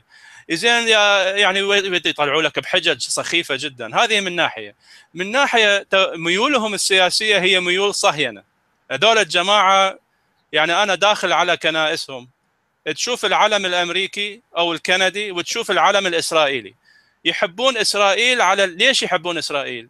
لأنه بسبب تطرفهم الديني لازم يعود السيد المسيح لكن إحدى الشروط الشعب الإسرائيلي لازم كله يؤمن بالرب، الشعب الإسرائيلي لازم اليهودي لازم كلهم كل كل ركبة تجثو على الأرض ويقولون مبارك الآتي باسم الرب، حينما يتنطق هذه مثل الشهادتين، حينما يتنطق بها اليهودي يصبح الآن مجال لعودة، شوف هذا التفكير الراديكالي، شوف هذا التفكير الخطر، لذلك يشجعون قيام دولة إسرائيل، ليش؟ لأنه قيام دولة إسرائيل هي إحدى الممهدات لعودة المسيح المزعومة الثانية بدهم بأي شكل وبأي طريقة يرجعوا المسيح. وإذا صارت في حرب نووية راح يهلهلوا ويك... ويصفقوا أياديهم إذا صارت في حرب نووية لأنه هذه أيضا من علامات الساعة قيامة ال- الحروب. إذا هذه من الناحية المسيحية. من الناحية الإسلامية معروفين السلف الوهابية هذول هم بؤرة الفساد. السلفية الوهابية شيء أكيد لا أعتقد أن هنالك أحد من مجتمعاتنا وثقافاتنا سوف يخطئ حتى بما فيهم المسلمين أنفسهم. إذا تريد تشوف واحد من الجماعة الإسلاميين المنفتحين روح على الأشاعرة روح على هذا المعروف عدنان إبراهيم وشوف الكلام الجميل الذي يقال بحق السلفية والمحبة المتبادلة بين الفئتين وبين الطرفين. هم نفسهم منهم وفيهم يكرهون بعضهم البعض ألا وهم التكفيريين المكفرين. أعتقد هذا جواب مباشر. ما أعرف إذا كان هنالك تعليق. طيب شكرا لك كثير أخي ليدو شكرا كثير لك. آه في عندي تعليق من الأخ سالمان هاتن عم بيقول آه خلينا نشوف التعليق أول شيء. عم بيقول تأكدوا جان جهودكم سوف تضيء الطريق لآلاف من شباب شعوبنا البائسه صوتكم رائع يدوي الآن وأخذ ينافس ويلغي أبواق وجعير شيوخ الجهل. لكم الحب والاحترام. أنا كثير بتشكرك أخي سال يعني بصراحة هو صوت الجهل هذا صوت الشيوخ جعيرهم صراحة جعير الشيوخ اللي اللي سوى فينا الويلات واشعل كل هالحروب هي لابد ينطفي لابد يعني وراح نطفي نحن. ونحن قد دود وزيادة كمان نعم. شو شو رأيك بتعليق الأخ سال رياض؟ لا شيء أكيد أنا موافق تماما لكل ما قاله 100% ونحن أنا يعني الفضل للاخوان والأخوات أمثال الأخ جان وإسماعيل وأحمد الحرقان وغيرهم كثيرون هذه الجهود يعني في واحد ما أعرف وإنت يمكن سامع نفس الاتهام إنه نحن نبحث عن الشهرة. هذا الوجه يبحث عن الشهرة بشرفك. يعني أنا يمكن بس يطلع وجهي على الشاشة يصير التفطر وتخرب الشاشة وتزتوها بالنسبة أنا معرض حياتي للخطر وأنا رجل عائلة وعندي أولاد والأخ جان نفس الشيء وغيره. يعني هذا اللي قاعد يفتش على الشهرة يعرض حياته للخطر على أي أساس؟ كل ما هنالك إحنا عندنا محبة ل ننتمي إلى هذه الأوطان العزيزة على قلوبنا، الأخ من سوريا، الأخ من العراق، الأخ من الجزائر، نريد ما هو مصلحة شبابنا. هسه أنا مثلا حسن الختام ما باقي لي كم سنتين وأودع، لكن البركة فيكم يا شباب، البركة فيكم. هذا كل أنا أعتقد الأخ جان أنت معي على هذا الخط. أنا عندي في في في نقطة كثير مهمة بهذا الموضوع هذا، أنا على كل حال راح هالموضوع احكيه بجزء في حلقة خاصة بدي أعملها لوحدي وهي رسالة إلى عائلتي. يعني بدي أبعث لهم رسالة فخلي يتوقعوا رسالة إلى عائلتي. والعائلتي طبعا نموذج عن كل العوائل الموجودة في العالم الإسلامي. يعني نفس الطريقة ونفس التفكير ونفس الأشياء هي. نقطة الشهرة إنه نحن نبحث عن شهرة وسمعتها كثير بصراحة. أقول لكم شغلة، أنا زلمة شاعر. آه، وطبعا ماني محتاج آه، من أي شخص آه، يختم لي إنه أنا شاعر. ماني محتاج من من حتى المتنبي ولا مين من كان يكون في في هذا العالم يقول لي أنت شاعر. أنا زلمة شاعر. اللي صار معي وقت قامت الأحداث بسوريا طبعا أنا كتبت ضد الأسد وراح أكتب اب يعني أنا باقي ضد الأسد وغير الأسد وجماعة الأسد كلياتهم. ولكن أنا هلأ لا أوسخ قلمي بالأسد. صار جرثومة يعني لا يحتاج إلى توسيخ قلمي في في الأسد. خلينا نقول لما بدأت الأحداث كضرب ضد الأسد تعدوا على إيديكم. تلفزيون برده طلع لي إياه صرخة في وجه الأسد. كان يعيدها يوميا. تلفزيون عبد الحليم خدام سوريا الحرة كان يعيدها كل أربع ساعات. هاي قصيدة صرخة في وجه الأسد. طلعوا أخوان المسلمين إخوان المسلمين في لاجئ سياسي وموجودة على النت وعلى كل حال حتى صرخة بوجه الأسد على قناة برد اليوتيوب الموجود. طبعا التلفزيون سكر بس قناتهم بقيت. موجود لحد هالساعة هاي صرخة في وجه الأسد وكانت لغتي العربية ميتة. يعني الفاعل والمفعول كنت أضربهم ببعضهم. وما عندي مشكلة بهي وتعلمته وبحاول أتعلم وإذا في عندي أخطاء عم بتعلم. ما عندي مشكلة بهالمسألة هي.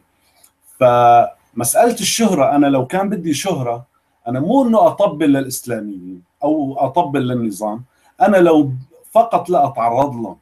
يعني لا أتعرض للإسلاميين كان هلأ أنا أشهر شاعر موجود عند المعارضة ولو مطبل للنظام كنت اشبه ساوان ونزار قباني ثاني يعني. أنا هلا بهال بهاللحظة هاي معرض حياتي للخطر ولا لا بيتقبلوني النظام ولا المعارضة. اثنيناتهم أنجس من بعضهم لأنه. يعني هم وجهين لعملة واحدة. والإعلام مبين الإعلام الموجود عندنا بالعالم العربي يا أما جماعة السنة والشيعة وأهل البطيخ يا أما الشيعة وجماعة العلوية وأهل البطيخ الثانيين يعني يا معارضة يا نظام. واثنيناتهم أنا ضدهم. أنا لو أطبل لواحد منهم كان هلا صرت مقام نزار قباني وأكثر كمان. وأنا ما بدي بروف مثل ما بقولوا إنه واحد يقول لي والله أنت شاعر وشعرك ما بسوى ولا بسوى. هذا شيء بتخبيه لحالك. أنا يكون يجي المتنبي ما, بيهمني رأيه بصراحة. وهي مسألة الشهره هي مردود عليها على كل حال. ويعني أنا راح أسوي موضوع آه، حلقة رسالة إلى عائلتي ومن ضمنها كمان راح نشوف مسألة الشهرة وراح أعرض اليوتيوبات المحطوطات لهلا من من جماعة المعارضة التلفزيونات المعارضة. وحتى أجتني دعوة من آه، الجزيرة نفسها. على كل معي اتصال من الاخ صلاح.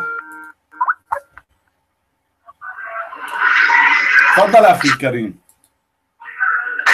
حبيبي جان حبيبي بس أنا اسمك أنا ما بعرف إذا كنت عم بنطقه صح ولا لا. وائل صلاح. وائل وائل صلاح وائل. أهلا وسهلا وائل. تفضل. هذا صديقي العزيز بالمناسبة. أشارك رياض حبيبي رياض. إزيك يا عم يا باشا يا أمير أنت يا طيب يا س... يعني أنا بس مجرد قلت له يا ريت تتصل فينا راح أتصل على طول. نعم.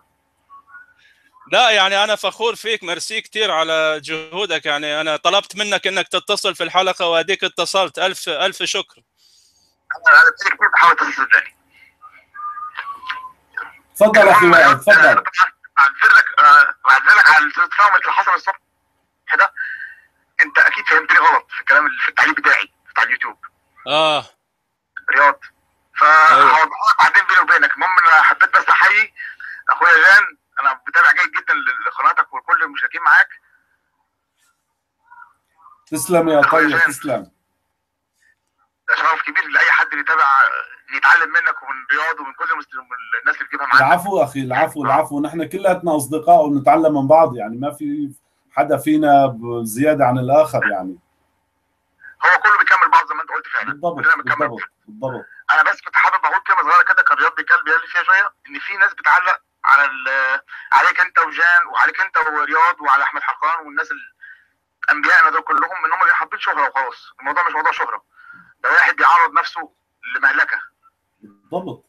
بالضبط. لمهلكة. يعني يعني- يعني جدا التهديدات اللي عم تيجي بصراحة أخي أخي وائل التهديدات اللي عم تيجي حقيقية يعني بصراحة يعني تهديدات برضه حاجة ثانية إن مش المسلمين بس اللي عندهم التهديد ده. يعني في ناس كتير فاكرة إن المسلمين بس هم اللي عندهم حد الرده وحد القتل القتل والكلام ده. لا لا لا الكلام ده منبوذ. حتى المسيحيين. موجود. حتى لو مش بصوت القتل من نبذ. يعني يخرج. بره العيلة يتنبذ بره العيلة. طبعا ده ده. قتل لوحده. يعني سواء بقى في اليهودية أو في الإسلام أو في المسيحية ما عنديش خلفية قوي عندهم بس أنا عارف إن اللي بيخرج من دينه انهم بيتنبذ من من من الدنيا كلها. أكيد أكيد. أكبر عقاب. فما حدش هيعرض نفسه لحاجة زي كده إنه يعيش حياة يعني في سلام في وسط أهله في وسط ناسه عشان يقول لي إن هو دي شهرة. شهرة إيه؟ تمنها موته شهرة تمنها حياته. بالضبط. صعب ولا وصدقني صدقني يا أخي وائل يعني هلا مثلا لو ما في طريق ثاني للشهرة كان قلنا okay بكون. بس صدقني أنا لو يعني هو دلوقتي اللي- عايز يتخفى دمه ويعمل حتى كوميدي يطلع في التلفزيون سهل قوي يعني. لا لا عم أقول لك كانت الشهره موجودة. الجم- الجماعه الجماعة فتحوا تلفزيونات. تفضل بس تفضل. بس لا تسبنا أو لا تسب الإله أو لا تسب هالأشياء هي. يعني أنا مو سب مو المسب. قصدي لا تعارضنا يعني لا تعارض ديننا لا تقول أنا ملحد. فقط. موضوع أنا رأيي فيه من زمان مع رياض قلت له أنا أنا ضد أي ازدراء لأي دين. ضد ازدراء اي دين أو اي فكره حتى. يعني أنا أنا أنا بحترم كل أنا بحترم كل اصحاب الافكار مش الافكار. بالضبط بالضبط. فبالتالي مش هزدري دينك ولا هزدري نبيك ولا هزدري ايا كان دينك اخ ولا أياً كان. اخ وائل اسف على المقاطعة. ده المطلوب. أنا بشجعك وهذا تشجيع فقط أنك تعمل حلقة مع الأخ جان لأنه أنت أيضا صاحب قصة وصاحب آه، اكتساب خبرة يعني هو أيضا من جيلنا. نفس الجيل أنا وأنت يا أخ جان. فأنت أيضا عندك آه، كلام جميل جدا وعندك متابعين وعندك جمهور. فيا ريت لو أنت أيضا إن صحت لمن استطاع إليه سبيلا. آه، إنك أيضا ترتبها وتنسقها مع الأخ جان. أنا بشجعك على هذا الشيء. طبعا. شرف كبير ليا طبعا. شرف كبير جدا ليا طبعا. العفو أنا الشرف لي وائل اذا بدك القناة قناتك. يعني نعمل عشر حلقات ما عندي أي مشكلة. حبيبي جان حبيبي جان. ده شرف كبير بجد مش كلام. ده شرف فعلا لأي حد يظهر عندك على القناة وخصوصا اللي شوف العينه اللي شفتها عندك كلها ناس مثقفة كلها ناس كويسة جدا. تسلم تسلم يا أنا طيب هطلع إيه حاجة ثانية برضه عايز اضيفها تاني؟ معلش. تفضل قبل ما تفضل اقفل معاك. تفضل بخصوص موضوع الحلقة التطور. بخصوص موضوع الحلقة. بس عندي ملحوظه صغيره خالص كده كلمة صغيرة مش عارف هتفيد حد أو لأ. كل البشر كلهم يا جان آه، مؤمنين بالتطور السلوكي. يعني مثلا الإنسان اتعلم إزاي يأكل كويس إزاي يطبخ إزاي يركب مواصله التطور السلوكي عموما مؤمنين بيه سواء بقى مؤمنين أو ملحدين كله مؤمن. التطور البش البدني اللي هو يعني مثلا كان كذا بقى صورته كذا بقى صورته كذا بيختلف فيها ال- المؤمنين عن غير المؤمنين. رغم هم مش مت- متفقين سوا الاثنين في التطور الحيواني. يعني مثلا النمر والقطة صحيح صحيح. اسلاف مشترك يقول لك ماشي مفيش مشكله عادي. الشمبانزي والقرد مفيش مشكلة. الايه والايه زي الكلاب والديابه زي بعض مفيش مشكلة. في تطور في في في سلف مشترك بينهم. يجي عند بني آدم وتلاقيه قلب جزمة قديمة دماغه. يقول لك لا. ما ينفعش يبقى في تطور سلف مشترك طب اشمعنى يعني؟ طب حتى لو آمنت بكلامك هو الخالق ال- ال- الحيوانات دي كلها مش هو نفس خالقك مش هو إله واحد خالق كل دول زي بعض؟ لو على كلامك أنت. وزي ما قلت يا أخي؟ زي ما قلت أخي وائل يعني بدماغه جزمة قديمة يعني ما هو لو جزمة حديثة كان أقل شيء فكر شوي. ليه نفس المنطق ما تطبقوش زي ما طبقته على على القطة والأسد طبقوه على البني آدم وغيره واسلاف مشتركة. صحيح. ما هو الخالق واحد والطبيعة واحدة وال- والكون واحد. طب ليه؟ ويرجع يقول لك هم متأثرين بصحيح البخاري بيقول لك إنه كان مولود آدم يوم الجمعة الساعة سبعة ونص وكان طوله 60 ذراع وكان حلو وكان أمور وسنة امير وعيونه خضر زي حسين فهمي. كيف راح يوفق بين هاي وبين التطور والارتقاء؟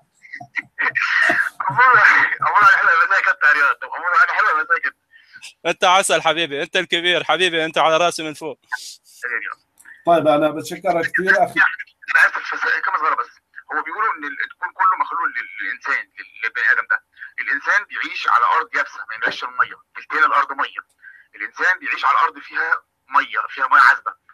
ما بيعيش في الصحراء. تل- تلت أو تلتين. الأرض اليابسة صحراء. فأنت الكون مش مجهز ليك أنت أساسا.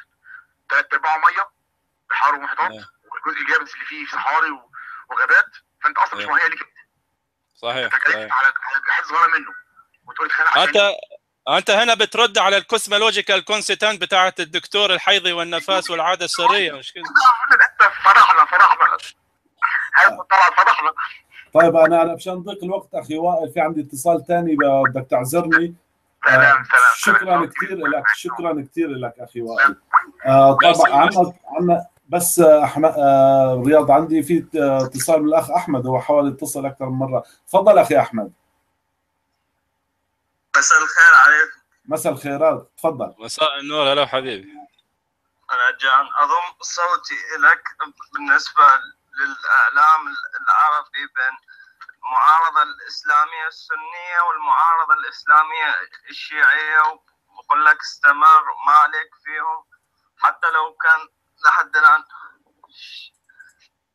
شعرك ما يعجب البعض بس اس- استمر. أما تعليق على الحلقة بدي شوية أتكلم عن التكيف الطبيعي. في أمثلة كثيرة مثل في كان بحث عنكبوت في المركبة الفضائية في الفضاء. حاول يبني الشبكة لكن لم يستطع. لكن بعد المحاولات بنى شبكته. أقوى من أي شبكة لعنكبوت مبنية على الأرض. وفي حيوانات كثيرة تتكيف مع الطبيعة مثل سامعني؟ آه سامعك تفضل. مثل حيوان يعني طوله تقريبا ملي متر يتكيف مع الحرارة العالية والبرودة ويقدر يتحمل حتى يعيش في الفضاء يعني. راح أكتب لك عنه في التعليقات على اليوتيوب. أما بالإنسان فبنشاهد دائما يعني مثلا في التكيف الطبيعي يكون بالأعمى الأعمى في بعض أنا شاهدت بعيني بعض الناس يعني يكون السمعه أقوى في بعض أقوى من الأشخاص اللي حوله. وذاكرته ذاكرته يعني دائما لما يجلس يقول لك شو سمع شو قال. ومن الأمثلة بس هاي أمثلة شوية كبيرة. أه أبو العلاء المعري عندك ذاكرته كلش كبيرة كان يحفظ مثلا عنده محادثة إلى رسالة كان يحفظ في لغة ثانية. وقال والمترجم اللي جنبه يعني ترجم له في الأمثلة. مثلا عندك البذرة.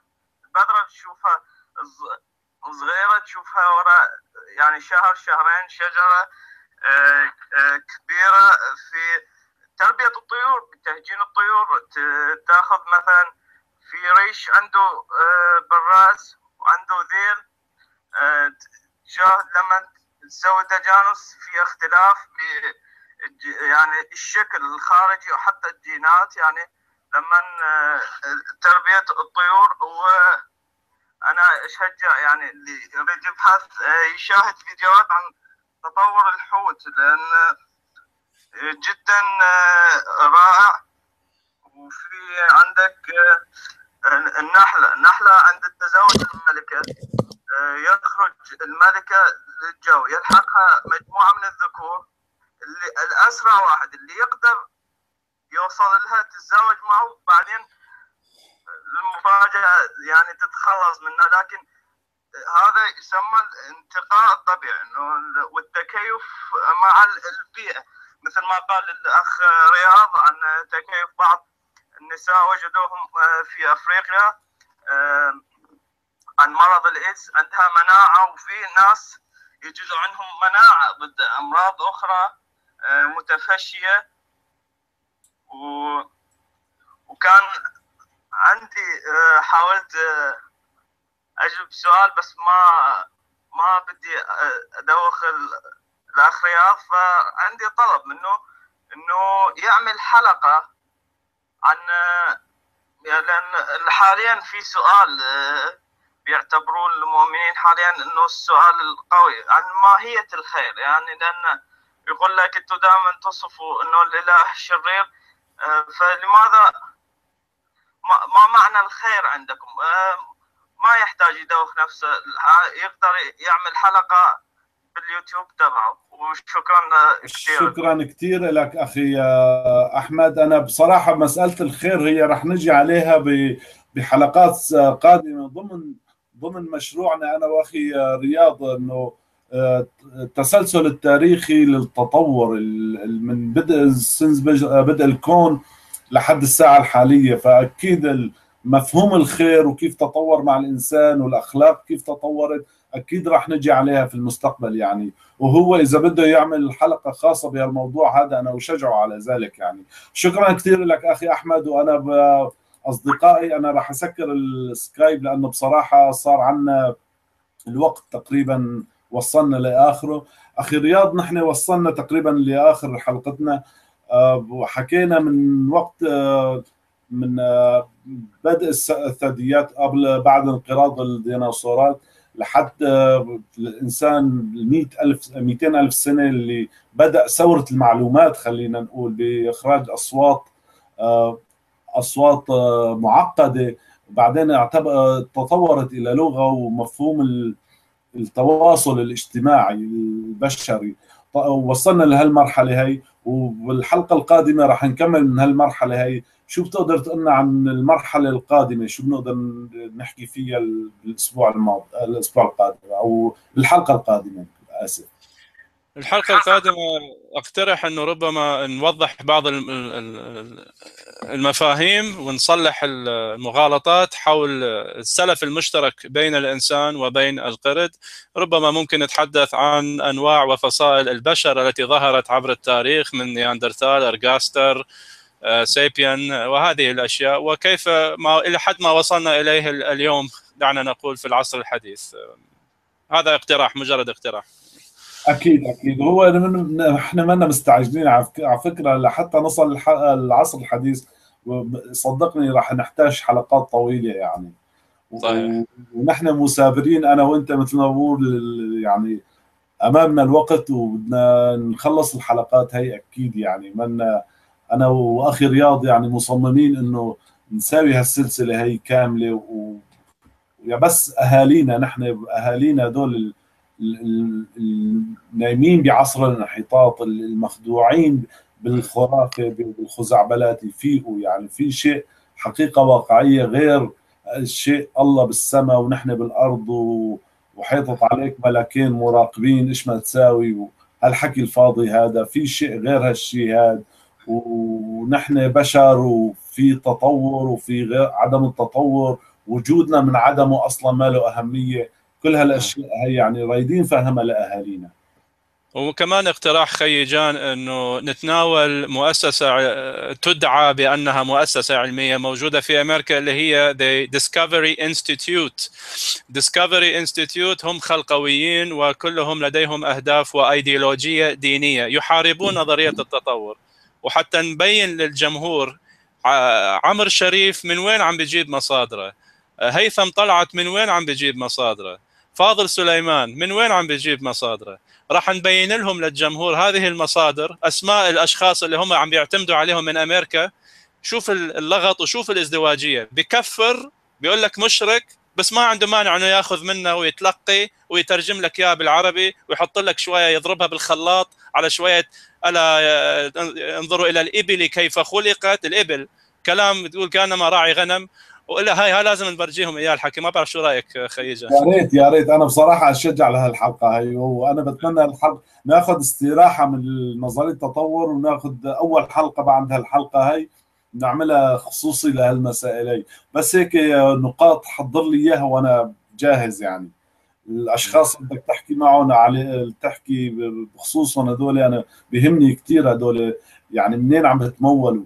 يعني بيقولوا في واحد بيعت لي ظبط الصوت عندك ولا شيء؟ يا جماعة نحن فقراء جماعة فقراء بكل معنى الكلمة. يعني أنا شغلي تيركو وقاعد عم بحكي بهالموضوع هذا وصدقوني أنا شوفير تاكسي ليس أكثر ولا أقل وما مثل ما بقول التاكسي ما عم بجيب همه مثل ما بقولوا عنا بالحلبي يعني.